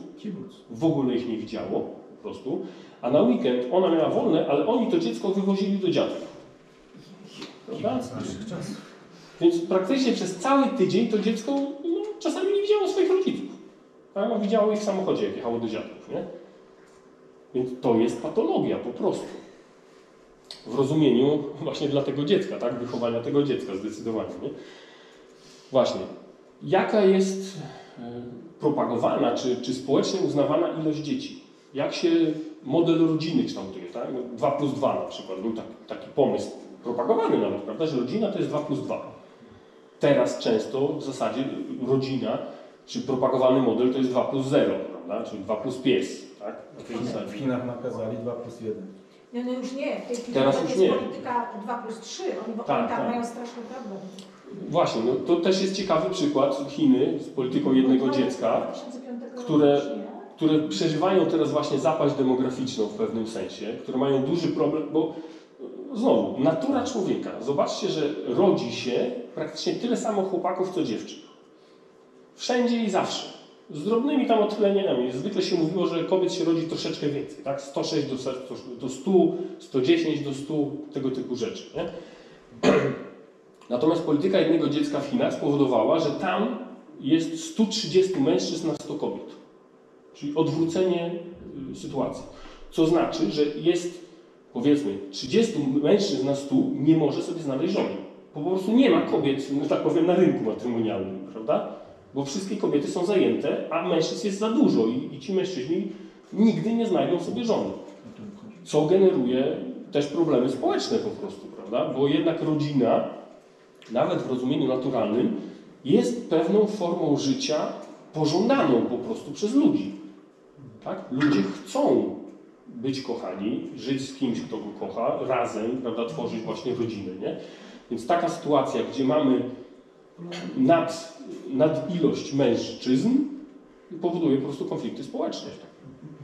Zresztą nawet jeden noblista e, z ekonomii uzasadniał, że model poligamiczny, taki jak na przykład mają muzułmanie, prawda, że jeden mężczyzna może mieć cztery kobiety, musi prowadzić do wojny. Tak, tak. Bo jeśli jeden mężczyzna może mieć cztery żony, to znaczy, że inni mężczyźni nie mają żadnej. Więc dla nich jedyną szansą zdobycia kobiety, co jest naturalnym pragnieniem, no jest właśnie wybrać się na wojnę, podbić sąsiednie plemię, wziąć sobie brankę, prawda, no i mam kobietę, tak, na tej zasadzie. I jakby historycznie, zobaczcie, że tak to często działało, że kobiety stanowiły łup wojenny, prawda? Tym, że akurat islam, islam to jest kolejność jest odwrotna, ponieważ oni się wybijali. Tak, no i było to mało facetów, tak. tak? Było mało mężczyzn, więc, więc jakby i przypadała duża ilość kobiet na jednego mężczyznę. Ale docelowo to musi prowadzić do takiej sytuacji, że jest brak kobiet na rynku i mężczyźni muszą walczyć o kobiety właśnie chociażby w sposób y, fizyczny wojny, prawda? Takie podejście, tak? Czy rodzina właśnie z czwórką dzieci to już jest patologia. Na przykład jeśli idzie kobieta z wózkiem i jeszcze ma dwójkę dzieci, przykłady moich przyjaciół, prawda? Kobieta idzie z wózkiem, jeszcze dwójka dzieci obok nich i ktoś na ulicy, obcy człowiek z oburzeniem reaguje, jak pani może tyle dzieci rodzić, to powinno być karalne na przykład, nie? No takie społeczne zachowania się zdarzają. Prawda? Albo co pani nie wie, co to antykoncepcja, dlaczego pani tyle tych dzieci urodziła, to, to, że kryzys światowy i tak dalej, a pani tutaj, prawda, nie rozważnie rodzi dzieci, nie? Na tej zasadzie. Takie są, nie mówię, że to są jedyne reakcje społeczne, prawda? Ale zobaczcie, że takie reakcje społeczne w ogóle się zdarzają. Że dziecko traktowane jest jako, jako coś zbędnego, coś, co, co, jest, co jest właśnie problemem. Czy, czy dzisiejsze mm, właśnie te ekologiczne takie, y, że właśnie Ziemia się ociepla, czy generalnie klimat się ociepla, będzie kryzys klimatyczny i ludzie, są młodzi ludzie, którzy dochodzą do wniosku, ja nie będę miał dzieci żeby ratować Ziemię. Prawda? Albo że nie zrobię mojemu dziecku tego, że będzie musiało żyć w świecie postapokaliptycznym, prawda? Tak, że nie chcę zrobić mojemu dziecku krzywdy, dzisiaj jest źle, jutro będzie jeszcze gorzej, więc jeśli moje dziecko się urodzi, to będzie miało gorzej niż ja. A każdy rodzic chciałby, żeby jego dziecko miało lepiej niż ja, prawda? Więc y, zobaczcie, zresztą w czasie wojny rodziło się mniej dzieci. Wiadomo, raz, że trudniej było generalnie utrzymać rodzinę, ale też ludzie tak w czasie wojny no niekoniecznie chcieli po prostu mieć dzieci, no bo w takim czasie rodzić dziecko, no to, to raz, że to trudne, dwa, że to, to dziecko, to jakie ono ma szanse, prawda? Dopiero po wojnie był zwykle jakiś, jakiś boom demograficzny, kiedy już następował pokój. Więc ludzie, jeśli widzą przyszłość y, w, w czarnych barwach, no to raczej nie chcą mieć dzieci. Bo dlaczego mam fundować swojemu dziecku przyszłość gorszą niż moja? Tym bardziej, że w pewnym sensie chyba już jesteśmy do tego przyzwyczajeni, że taki, taki jak to mówił Bochański, zabobon postępu, że jest coraz lepiej, prawda? Że nasi dziadkowie to by mieli, o strasznie tam było, nasi rodzice to już mieli trochę lepiej, my to już mamy w ogóle super, no to nasze dzieci to powinny mieć jeszcze lepiej, prawda? I taki zabobon, że, że świat powinien być coraz lepszy, coraz bogatszy, coraz wspanialszy i tak dalej, i tak dalej, nie? I w momencie, kiedy pojawia się myśl, że może tak nie będzie, że może wybuchnie wojna, prawda? Że może właśnie przyjdzie epidemia, że może klimat się ociepli i będzie katastrofa, no to ludzie dochodzą do wniosku, że to może lepiej nie mieć dzieci po prostu, żeby nie narazić te, tych dzieci na jakieś, na jakieś trudne życie. No i właśnie, czy dziecko jest widziane jako coś, co jest darem dla małżeństwa, czy coś, co jest przeszkodą dla małżeństwa? Czy wręcz, co, co też się zdarza, zobaczcie, że niewolnictwo w większości cywilizowanych krajów jest zakazane.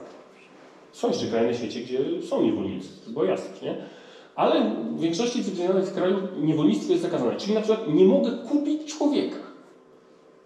Ale znowu, w większości cywilizowanych krajów mogę kupić spermę, mogę kupić komórkę jajową, mogę kupić usługę zapłodnienia, mogę kupić usługę donoszenia ciąży i mam dziecko. Czy to znaczy, że kupiłem dziecko? Kupić dziecka nie mogę. Ale wszystkie elementy prowadzące do tego, że mam dziecko, mogę kupić. I surogatkę. Tak, no, usługę donoszenia ciąży, prawda? Surogatkę, tak? Więc mimo, że niewolnictwo jest zakazane, handel ludźmi w sposób taki troszeczkę dookoła jednak trwa. Są targi, gdzie właśnie można sobie wybrać płeć dziecka, kolor oczu dziecka, prawda? I tak dalej. I w pewnym sensie, nie mówię, że zawsze, ale w wielu przypadkach dziecko jest traktowane jako towar. Ja chcę mieć takie konkretne dziecko, tak samo jak ja chcę mieć taki konkretny samochód. Jeśli przychodzę do salonu mówię, ten model mi odpowiada, proszę mi tam jeszcze dodać felgi i tak dalej, i tak dalej, prawda? Wyjeżdżam, jestem szczęśliwy, bo mam to, co chciałem. Jeśli przychodzę właśnie przykład do kliniki in vitro i mówię, chcę mieć takie i takie dziecko, oni próbują spełnić te moje wymagania, no ale wiadomo, że tutaj jest większa y, szansa przypadkowości. No to teraz tak, jeśli kupuję towar, który ma wadę, No to co z reklamacją? Właśnie, mogę złożyć reklamację, mogę zwrócić towar, prawda, i tak dalej. Wszyscy jesteśmy tego uczeni. Uważam, że to jest dobre, prawda? Że jesteśmy uczeni tego, że każdy konsument ma prawa, że może zwrócić towar, gwarancję skorzystać i tak dalej. Ale jeśli zaczynamy podchodzić do dziecka jako do towaru, no to ludzie przekładają to samo myślenie. Jeśli to jest towar, który zama... no to jest towar, płacę, wymagam. Jeśli otrzymuję towar niezgodny z tym, co chciałem, no to składam reklamację, prawda? I już, nie? Więc tego typu myślenie, jeśli, znowu, prawo naturalne, jeśli dziecko, człowiek nie jest czymś innym niż reszta natury, no to stosujemy do tego, do niego te same prawa, co, co do wszystkiego, co do towaru po prostu. Ale jeśli jest czymś innym, no to już nie możemy stosować tych samych praw po prostu. Jest teraz propaganda żeby osoby samotne były y, rodzinami zastępczymi dla dziecka. To mi ktoś proponował, że jak jestem sama, nie mam dziecka, ale powiedzmy mam jakiś dowód, no to jest pewna pula już gotowych dzieci, które z kolei zostały odebrane osobom bez dochodu, czyli jakimś tam patologią i że ja na pewno będę sama lepszą rodziną niż to, ta patologia. I to nie jest tam gdzieś kiedyś, tylko teraz. Tak, Mogę jest- jest- Nie mogę adoptować, ale mogę sobie mieć. A jak ono będzie niegrzeczne, na przykład zaleje dywan, to mogę je oddać i No. powiedzieć, że ja sobie tutaj nie dałam rady, to ja chcę grzeczniejsze dziecko. Znaczy to jest pytanie generalnie o procedury adopcyjne, o procedury właśnie opieki zastępczej, Jest prawda? Są- Tak, są y, procedury adopcyjne są na przykład dosyć y, takie, powiedziałbym, ostre. W podejściu. Tak, natomiast właśnie opieka zastępcza, tak, są niestety dzieci, które przeżywają właśnie taką traumę, że ktoś je bierze niby na wychowanie, ale po miesiącu oddaje, bo się znudził, tak, bo, bo to okazało się za trudne. Zresztą z osobistego doświadczenia wypowiedź mężczyzny, ojca, prawda, który mówi, że no to zdecydowaliśmy się na dziecko. Ja myślałem, że to będzie taki projekt, prawda, że no, informatyk, tak, że będzie taki projekt, że damy radę, że zrobimy, nie, no ale po trzech latach okazało się to za trudne, więc ja się wycofuję z tego projektu. Jak to informatyk? Jak to informatyk, prawda? Projekt się nie udał, za trudny się okazał, no to kasujemy projekt i on się rozwiódł i wyprowadził się. Zasoby na inny projekt. Tak, on wyprowadził się od żony i dziecka, prawda? No bo, no bo projekt okazał się za trudny, nie? Znowu, jeśli traktujemy rodzinę, życie innych ludzi takimi samymi kategoriami jak świat po prostu, no to możemy dojść do takich wniosków po prostu, nie? Mówi się o czymś takim jak bronie ABC, prawda? Atomowa, biologiczna i chemiczna. Teraz zdecydowanie chyba widać, że jest jeszcze broń D, czyli broń demograficzna. Z dwóch końców wchodząc do tego. Raz, społeczeństwo nasze, polskie, generalnie europejskie, zachodnie obumiera. Tak? Dzieci się rodzi mniej niż y, y, umiera ludzi. Więc mamy, już dawno przekroczyliśmy próg zastępowalności pokoleń i, i większość ludzi mówi, że tak naprawdę niemożliwe jest nawet odbudowanie y, to- społeczeństwa, żeby w ogóle zachować w miarę stabilność ilości osób. Bo większość, tak, jeśli standardowo się mówi, że na, przeciętnie na kobietę powinno przypadać 2,1 dziecka, żeby zachować y, właśnie zastępowalność pokoleń. Wiadomo, niektóre dzieci, niektóre kobiety nie rodzą w ogóle dzieci, niektóre nie mają w ogóle mężów, prawda, więc inne statystycznie powinny urodzić trochę więcej, żeby ta zastępowalność pokoleń była. Natomiast dzisiaj kobiet w wieku rozrodczym mamy tyle, że gdyby nawet je wszystkie namówić, żeby urodziły trójkę dzieci, to i tak to nie, nie spowoduje, że ilość społeczna, społeczeństwa, tak powiem, Polaków zachowa się na poziomie aktualnym. Tak? Więc i tak wiemy, że jesteśmy właśnie w czasie, w czasie wymierania naszego społeczeństwa po prostu. Tak? Więc z jednej strony broń demograficzna w tym sensie, że znowu społecznie, kulturowo, prawnie tak to się wszystko ukształtowało, że ludzie mają coraz mniej dzieci i tych dzieci już nie spowodują zastępowalności pokoleń. Z drugiej strony ta broń demograficzna, tak, czyli uchodźcy, różnego rodzaju migranci z zewnątrz, którzy stanowią właśnie presję demograficzną na społeczeństwo z zewnątrz, tak, innej kultury, innej cywilizacji wręcz, prawda, która tutaj wchodzi i będzie yy, no, próbowała żyć po swojemu. Tak? Procentowo coraz więcej dzieci rodzi się też poza małżeństwem, czyli właśnie w związkach, yy, czy, czy w zasadzie bez związków, tak? czyli tak zwana matka samotnie wychowująca dziecko na przykład. Znowu, yy, z różnych badań socjologicznych wiemy, że dla dziecka najlepszym środowiskiem wychowawczym jest po prostu pełna rodzina, gdzie jest ojciec i matka i przez długi czas jest to stabilny związek, gdzie to dziecko może się wychowywać. Więc jeśli mamy coraz procentowo coraz więcej dzieci rodzących się poza stabilnym związkiem, no to automatycznie problemy się przenoszą na przyszłość, bo te dzieci statystycznie patrząc mają większy problem z założeniem stabilnej rodziny, więc ich dzieci znowu statystycznie patrząc będą miały też więcej będzie procentowo takich dzieci, które mają problem e, z założeniem rodziny. Całe podejście antykoncepcyjne do, do związku, do, do współżycia mężczyzny i kobiety, zobaczcie, że jeśli, general, jeśli wykluczymy potomstwo ze współżycia seksualnego, prawda? Jeśli stwierdzimy, jeśli byśmy tak zrobili, że każde współżycie jest niepłodne, to w zasadzie czym to się różni od współżycia właśnie osób płci tej samej? Albo czym to, co jest złego we współżyciu ojca z córką, jeśli nie będzie z tego dziecka? Jeśli ojciec i córka chcą, są dorośli, prawda, czyli wszystkie dzisiejsze normy takie społeczne byłyby zachowane, tak? Ja chcę, jestem dorosły, dobrowolnie podejmuję taką decyzję, prawda, i tak dalej, tak? A jednak wydaje się, że każdemu z nas yy, no takie zapala się czerwone światło, prawda? No, że jednak ojciec z córką albo brat z siostrą, nawet jeśli nie będzie z tego potomstwa, Gdybyśmy mieli absolutną pewność, że się nie urodzi potomstwo, bo wiemy, że potomstwo mogło się urodzić z jakimiś wadami, prawda? To był jeden z argumentów, żeby zabronić takich związków kazirodczych, prawda? Ale gdybyśmy mieli pewność, że nie urodzi się tego potomstwa, to czy taki związek jest czymś yy, no, dobrym, prawda? Wydaje się, że jeszcze w dużej części społeczeństwa byłby opór przed takim, takim myśleniem, ale właśnie takie podejście antykoncepcyjne, że dziecko jest wyłączane poza, czy w ogóle pomysł potomstwa jest wyłączany poza współżycie, no, no prowadzi prędzej czy później do takich rozważań, prawda?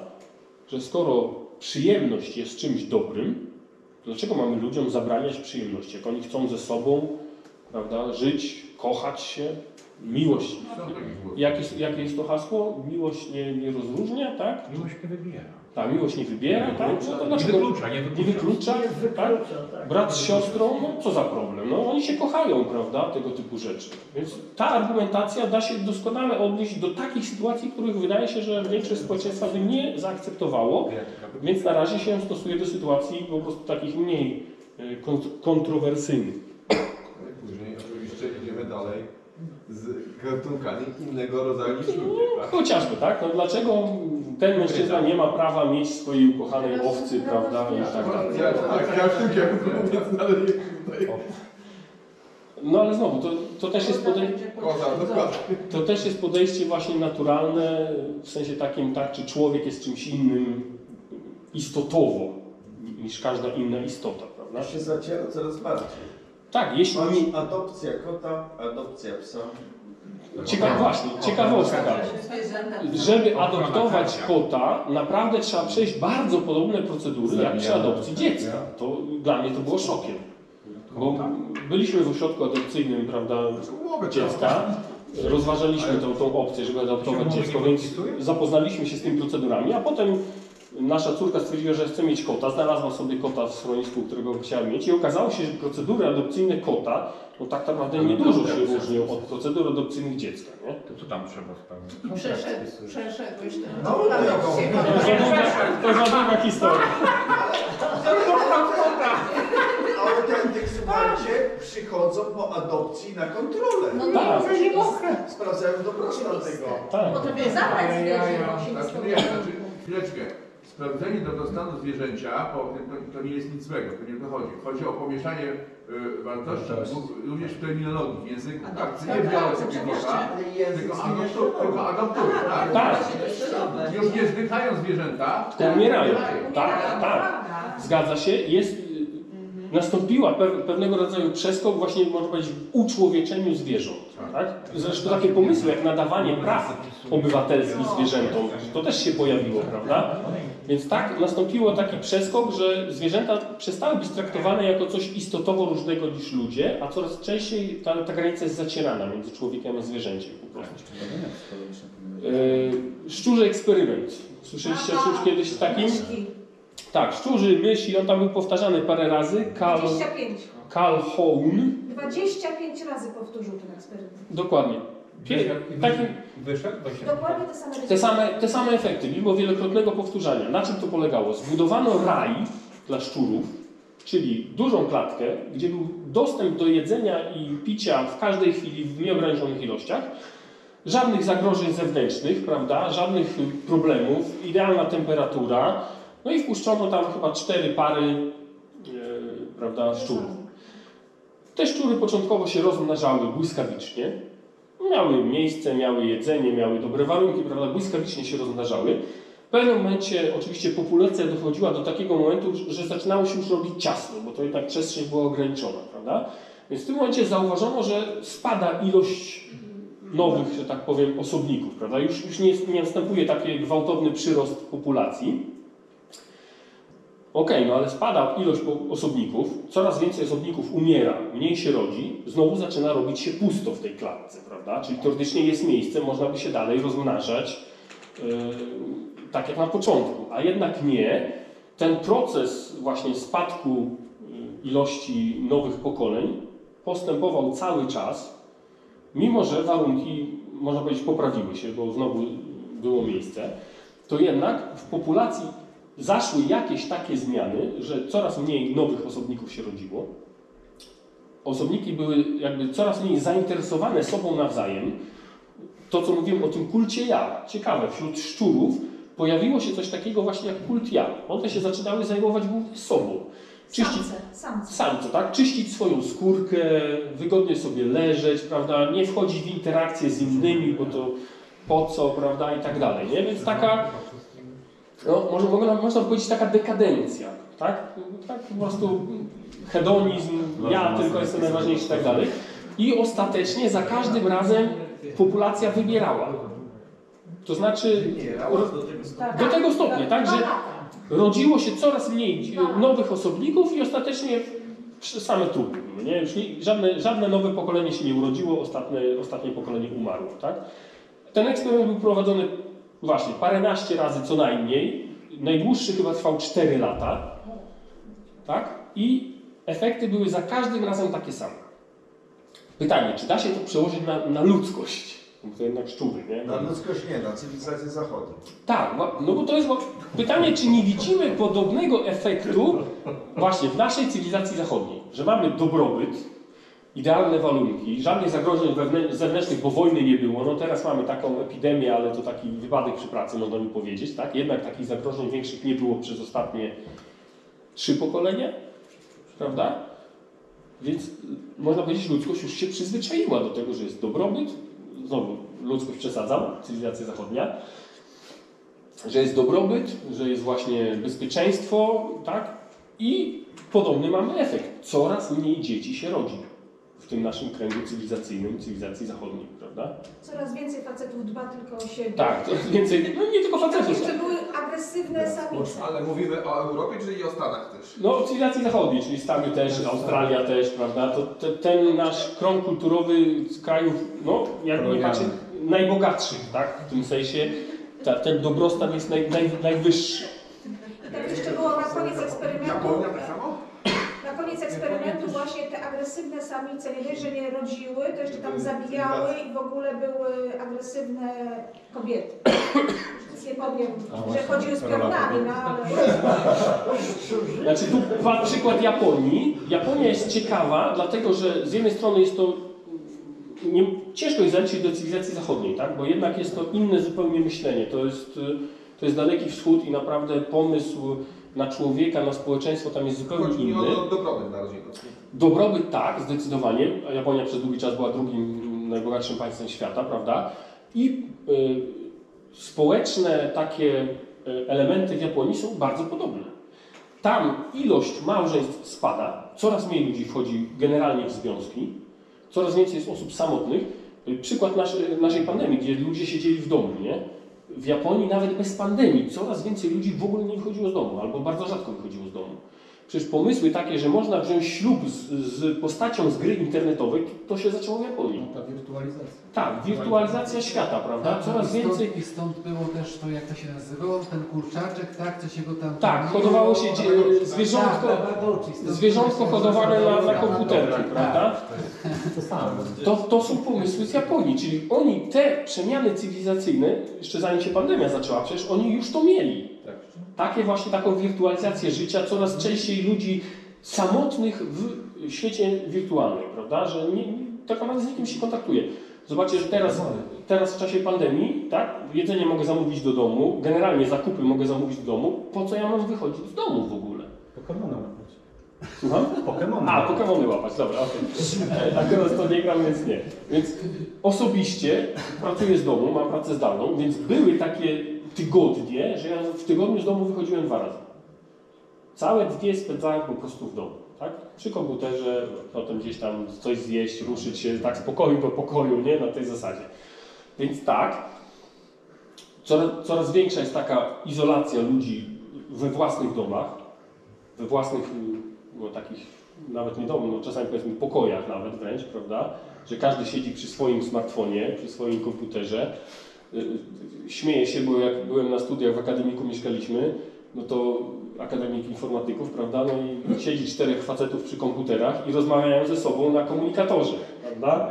Zamiast mówić do siebie w jednym pokoju, to piszą do siebie na komunikatorze. Wtedy wydawało się to śmieszne. Dzisiaj to jest niestety rzeczywistość wielu polskich rodzin nawet, nie? Że dziecko siedzi w drugim pokoju i żeby z nim porozmawiać, to piszę do niego tam na komunikatorze, prawda, chociażby przyjdź tu do mnie. tak, na tej zasadzie. A jeszcze przy okazji zmieniła się definicja człowieka, bo ciągle słyszeliśmy, że ludzie siedzą w domu, wszyscy siedzą w domu, a kupują sobie jedzenie przez internet. No to kto im to przynosi? Jacyś nie ludzie. O tym nie pomyślałem jeszcze. Jednak zawsze przychodził jakiś człowiek. Jeszcze rok do mnie nie przyszedł, ani dron nie przyleciał. Nie no, wszyscy ludzie Ale to siedzą kwestia czasu. i ludzie chorują na depresję. Natomiast e, ci nie ludzie, i oni się pojawili dosłownie w czasie pandemii, ci pracownicy tego Glovo, Pyszne.pl, ci Hindusi. Tak. Hindusi, Murzyni, oni niedawno, nie no, emigranci, my nie wpuścimy żadnego emigranta i po prostu kiedy się okazuje, że potrzebni są nie ludzie, no to oni po prostu nie wiadomo gdzie mieszkają, bo nie widać ich w naszym społeczeństwie, tak? Ludzie siedzą i ludzie muszą bo ludzie mogą się zarazić. Natomiast nie ludzie, nie ludzie... Czyli pariasi tak naprawdę, nie? Pariasi, Tak. to na przykład nic nie obchodzi. Ja akurat przeżyłam epidemię w kategorii nie ludzie, bo jako opiekunka. No bo przecież nie pójdę się opiekować babcią, bo się zarażę, tak? Do babci przyjdzie opiekunka. Myśmy tak. dostawali zlecenia z firmy medycznej, żeby jako nie człowiek i pani pójdzie do Biedronki, pani pójdzie do, do służb medycznych i te służby medyczne to są oczywiście też nie ludzie, bo oni muszą się tym zajmować. Więc jak szłam sobie z rehabilitantem na drugą stronę parku i mogła nas zaczepić policja, bo nie można było i chodzić razem po tym parku, no to stwierdziliśmy, że jak nas zaczepi policja, to ten yy, rehabilitant powie, y, ta pani jest suką. Wszyscy mówią, że ta pani jest suką.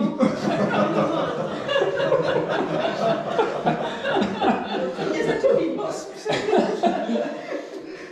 No, że nie przez tak. Dobra, przechodząc do rozwiązania. Y, Nie jestem aż taki mądry, żeby sam to rozwiązanie wymyślić, więc posiłkuję się mądrzejszymi od siebie, prawda? Katechizm Kościoła Katolickiego. Zobaczcie, taka definicja, którą już zaczynałem, prawda? Rodzina jest komunią osób, znakiem i obrazem komunii Ojca i Syna w Duchu Świętym. I w dalszej części są elementy, które pokazują właśnie, jak dbać o rodzinę po prostu. Jak rodzina ma szansę się rozwijać, umacniać, prawda, i tak dalej. Czyli działanie rodziny w dziedzinie prokreacji i wychowania. Jeden z tych celów głównych, prawda? I to, co Kościół naucza. Rodzina powinna być otwarta na potomstwo. Działanie w dziedzinie prokreacji i wychowania. Jeśli to wykluczymy z rodziny, no to, to nie utrzymamy rodziny po prostu, bo, bo to, co było mówione, tak? Po co, po co mieć rodzinę, jak nie chcemy mieć dzieci, nie?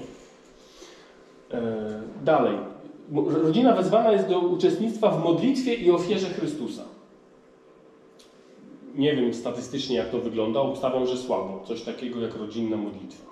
Ile rodzin się modli rodzinnie? My staramy się, nasze dzieci nie są za bardzo chętne, ale staramy się codziennie, chociaż tam, nie wiem, Ojcze Nasz, Aniel Boży, czy coś takiego, wspólnie taką modlitwę wieczorną odmówić, prawda? Ale to nie jest łatwe wcale, nie mówię, że to jest łatwe. Tylko pytanie, czy, czy to jest coś, co się da w rodzinie tak zaszczepić i propagować. Kościół mówi, to służy rodzinie, jeśli rodzina wspólnie się modli. Więc jeśli chcecie mieć dobrą rodzinę, zachęcam do posłuchania się tej mądrości, prawda? I próbować to wdrożyć we własnej rodzinie. Uczestnictwo w ofierze Chrystusa. Trudna, y, ta, ta, trudne są te słowa, ale znowu, podejście do rodziny. Kto jest w rodzinie najważniejszy?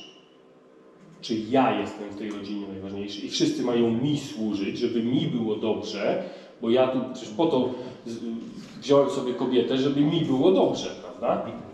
Jeśli mamy takie podejście do rodziny, no to będzie nieuchronnie prowadziło do konfliktów po prostu w tej rodzinie. Bo jeśli jest dwoje egoistów, mi ma być dobrze, a ty mi służ, a ta druga strona mówi tak samo, mi ma być dobrze, a ty mi służ, to ani jedno nie służy, ani drugie nie służy, oboje mają wielkie wymagania i tylko wielkie problemy z tego, prawda? Dziecko wtedy musi No i tak, i dziecko ewentualnie może mieć z tym problem. Natomiast jeśli podchodzimy do y, małżeństwa właśnie jako do ofiary z siebie, że ja wchodzę w małżeństwo po to, żeby służyć, nie ja jestem najważniejszy, jakby jestem w stanie poświęcić moje dobro na rzecz mojego współmałżonka, na rzecz moich dzieci. Jeszcze na rzecz dzieci wydaje się, że dla, dla dużej ilości rodziców w sposób naturalny jest to w miarę zrozumiałe, tak? że rodzice poświęcają się na rzecz swoich dzieci. Wydaje się, że to wypływa też z natury człowieka, prawda? Ko zwłaszcza kobiety, że się poświęcają na rzecz swoich dzieci, ale myślę, że dla mężczyzn też to, to są moje dzieci, ja się dla nich, dla nich pracuję chociażby, prawda? Wielu mężczyzn tak do tego podchodzi. Ja pracuję dla mojej rodziny. Po to się w tej pracy zamęczam i tak dalej, nie? Więc okej, okay, poświęcam się dla mojej rodziny. Tylko wydaje się, że, to, że im bardziej to jest świadome, tym lepiej, bo tym łatwiej zwalczyć sobie ten, to podejście właśnie, że to ja jestem najważniejszy, to dla mnie y, powinno być wszystko tu ustawione pode mnie, żebym ja był szczęśliwy. Prawda? Zresztą takie podejście, prawda, że ja chcę być szczęśliwy, no myślę często za wszelką cenę, no to powoduje najczęściej to, że inni nie są szczęśliwi. I ja też. Bo to jest ja sobie Tak, co ostatecznie powoduje, że ja też nie mogę być szczęśliwy, prawda? I te, ja powtarzam, jeśli chcesz mieć szczęśliwy, jeśli chcesz mieć szczęśliwy w małżeństwie, to musisz uszczęśliwić swoją żonę po prostu. Wtedy, jeśli, będziesz, jeśli będziesz miał szczęśliwą żonę, to będziesz w tym małżeństwie po prostu szczęśliwy. To nie jest proste, wiadomo, tak? ale to jest jedyna możliwość, bo jeśli ja chcę być szczęśliwy i będę siebie uszczęśliwiał, to będę unieszczęśliwiał innych i automatycznie to też nie będę tego szczęścia odczuwał, bo będę miał same nieszczęśliwe osoby wokół siebie, prawda, na tej zasadzie. Więc wezwanie do tego, żeby uczestniczyć w ofierze Chrystusa, żeby się ofiarować innym, zwłaszcza w rodzinie, co jest łatwiejsze niż ofiarować się na zewnątrz w ogóle, prawda? W rodzinie jest to łatwiejsze, bo też naturalne instynkty nas do tego popychają, więc można próbować tak to działać. Codzienna modlitwa i czytanie Słowa Bożego. Znowu, czy w rodzinie istnieje coś takiego jak czytanie Słowa Bożego? Ja wiem, w Wigilię zwykle każdy czyta tam fragment, prawda, Ewangelii. Ale czy, czy... To nie zawsze. No i to nie, ale tak? Czytanie Słowa Bożego. Osobiście, czy każdy z nas czyta Słowo Boże? Rodzinnie, czy czytamy Słowo Boże? Oczywiście można by powiedzieć, chodzimy rodzinnie na mszę świętą, tam jest czytane Słowo Boże, prawda? No powiedzmy, nie? jakiś tam drobny element, nie? ale jest zachęta do tego, żeby właśnie czytać Słowo Boże rodzinnie. I dalej, rodzina chrześcijańska powołana jest do ewangelizacji i misji. No to jest trudne, ale jeśli mówimy o tym, że, że rodzina jest obrazem Boga, prawda, miłości Boga, no to oczywiście Bóg kocha się, tak, trzy osoby Trójcy Świętej kochają się, ale to nie jest miłość wsobna, prawda, że nie wychodzi na zewnątrz, tylko właśnie jest to miłość, która wychodzi na zewnątrz.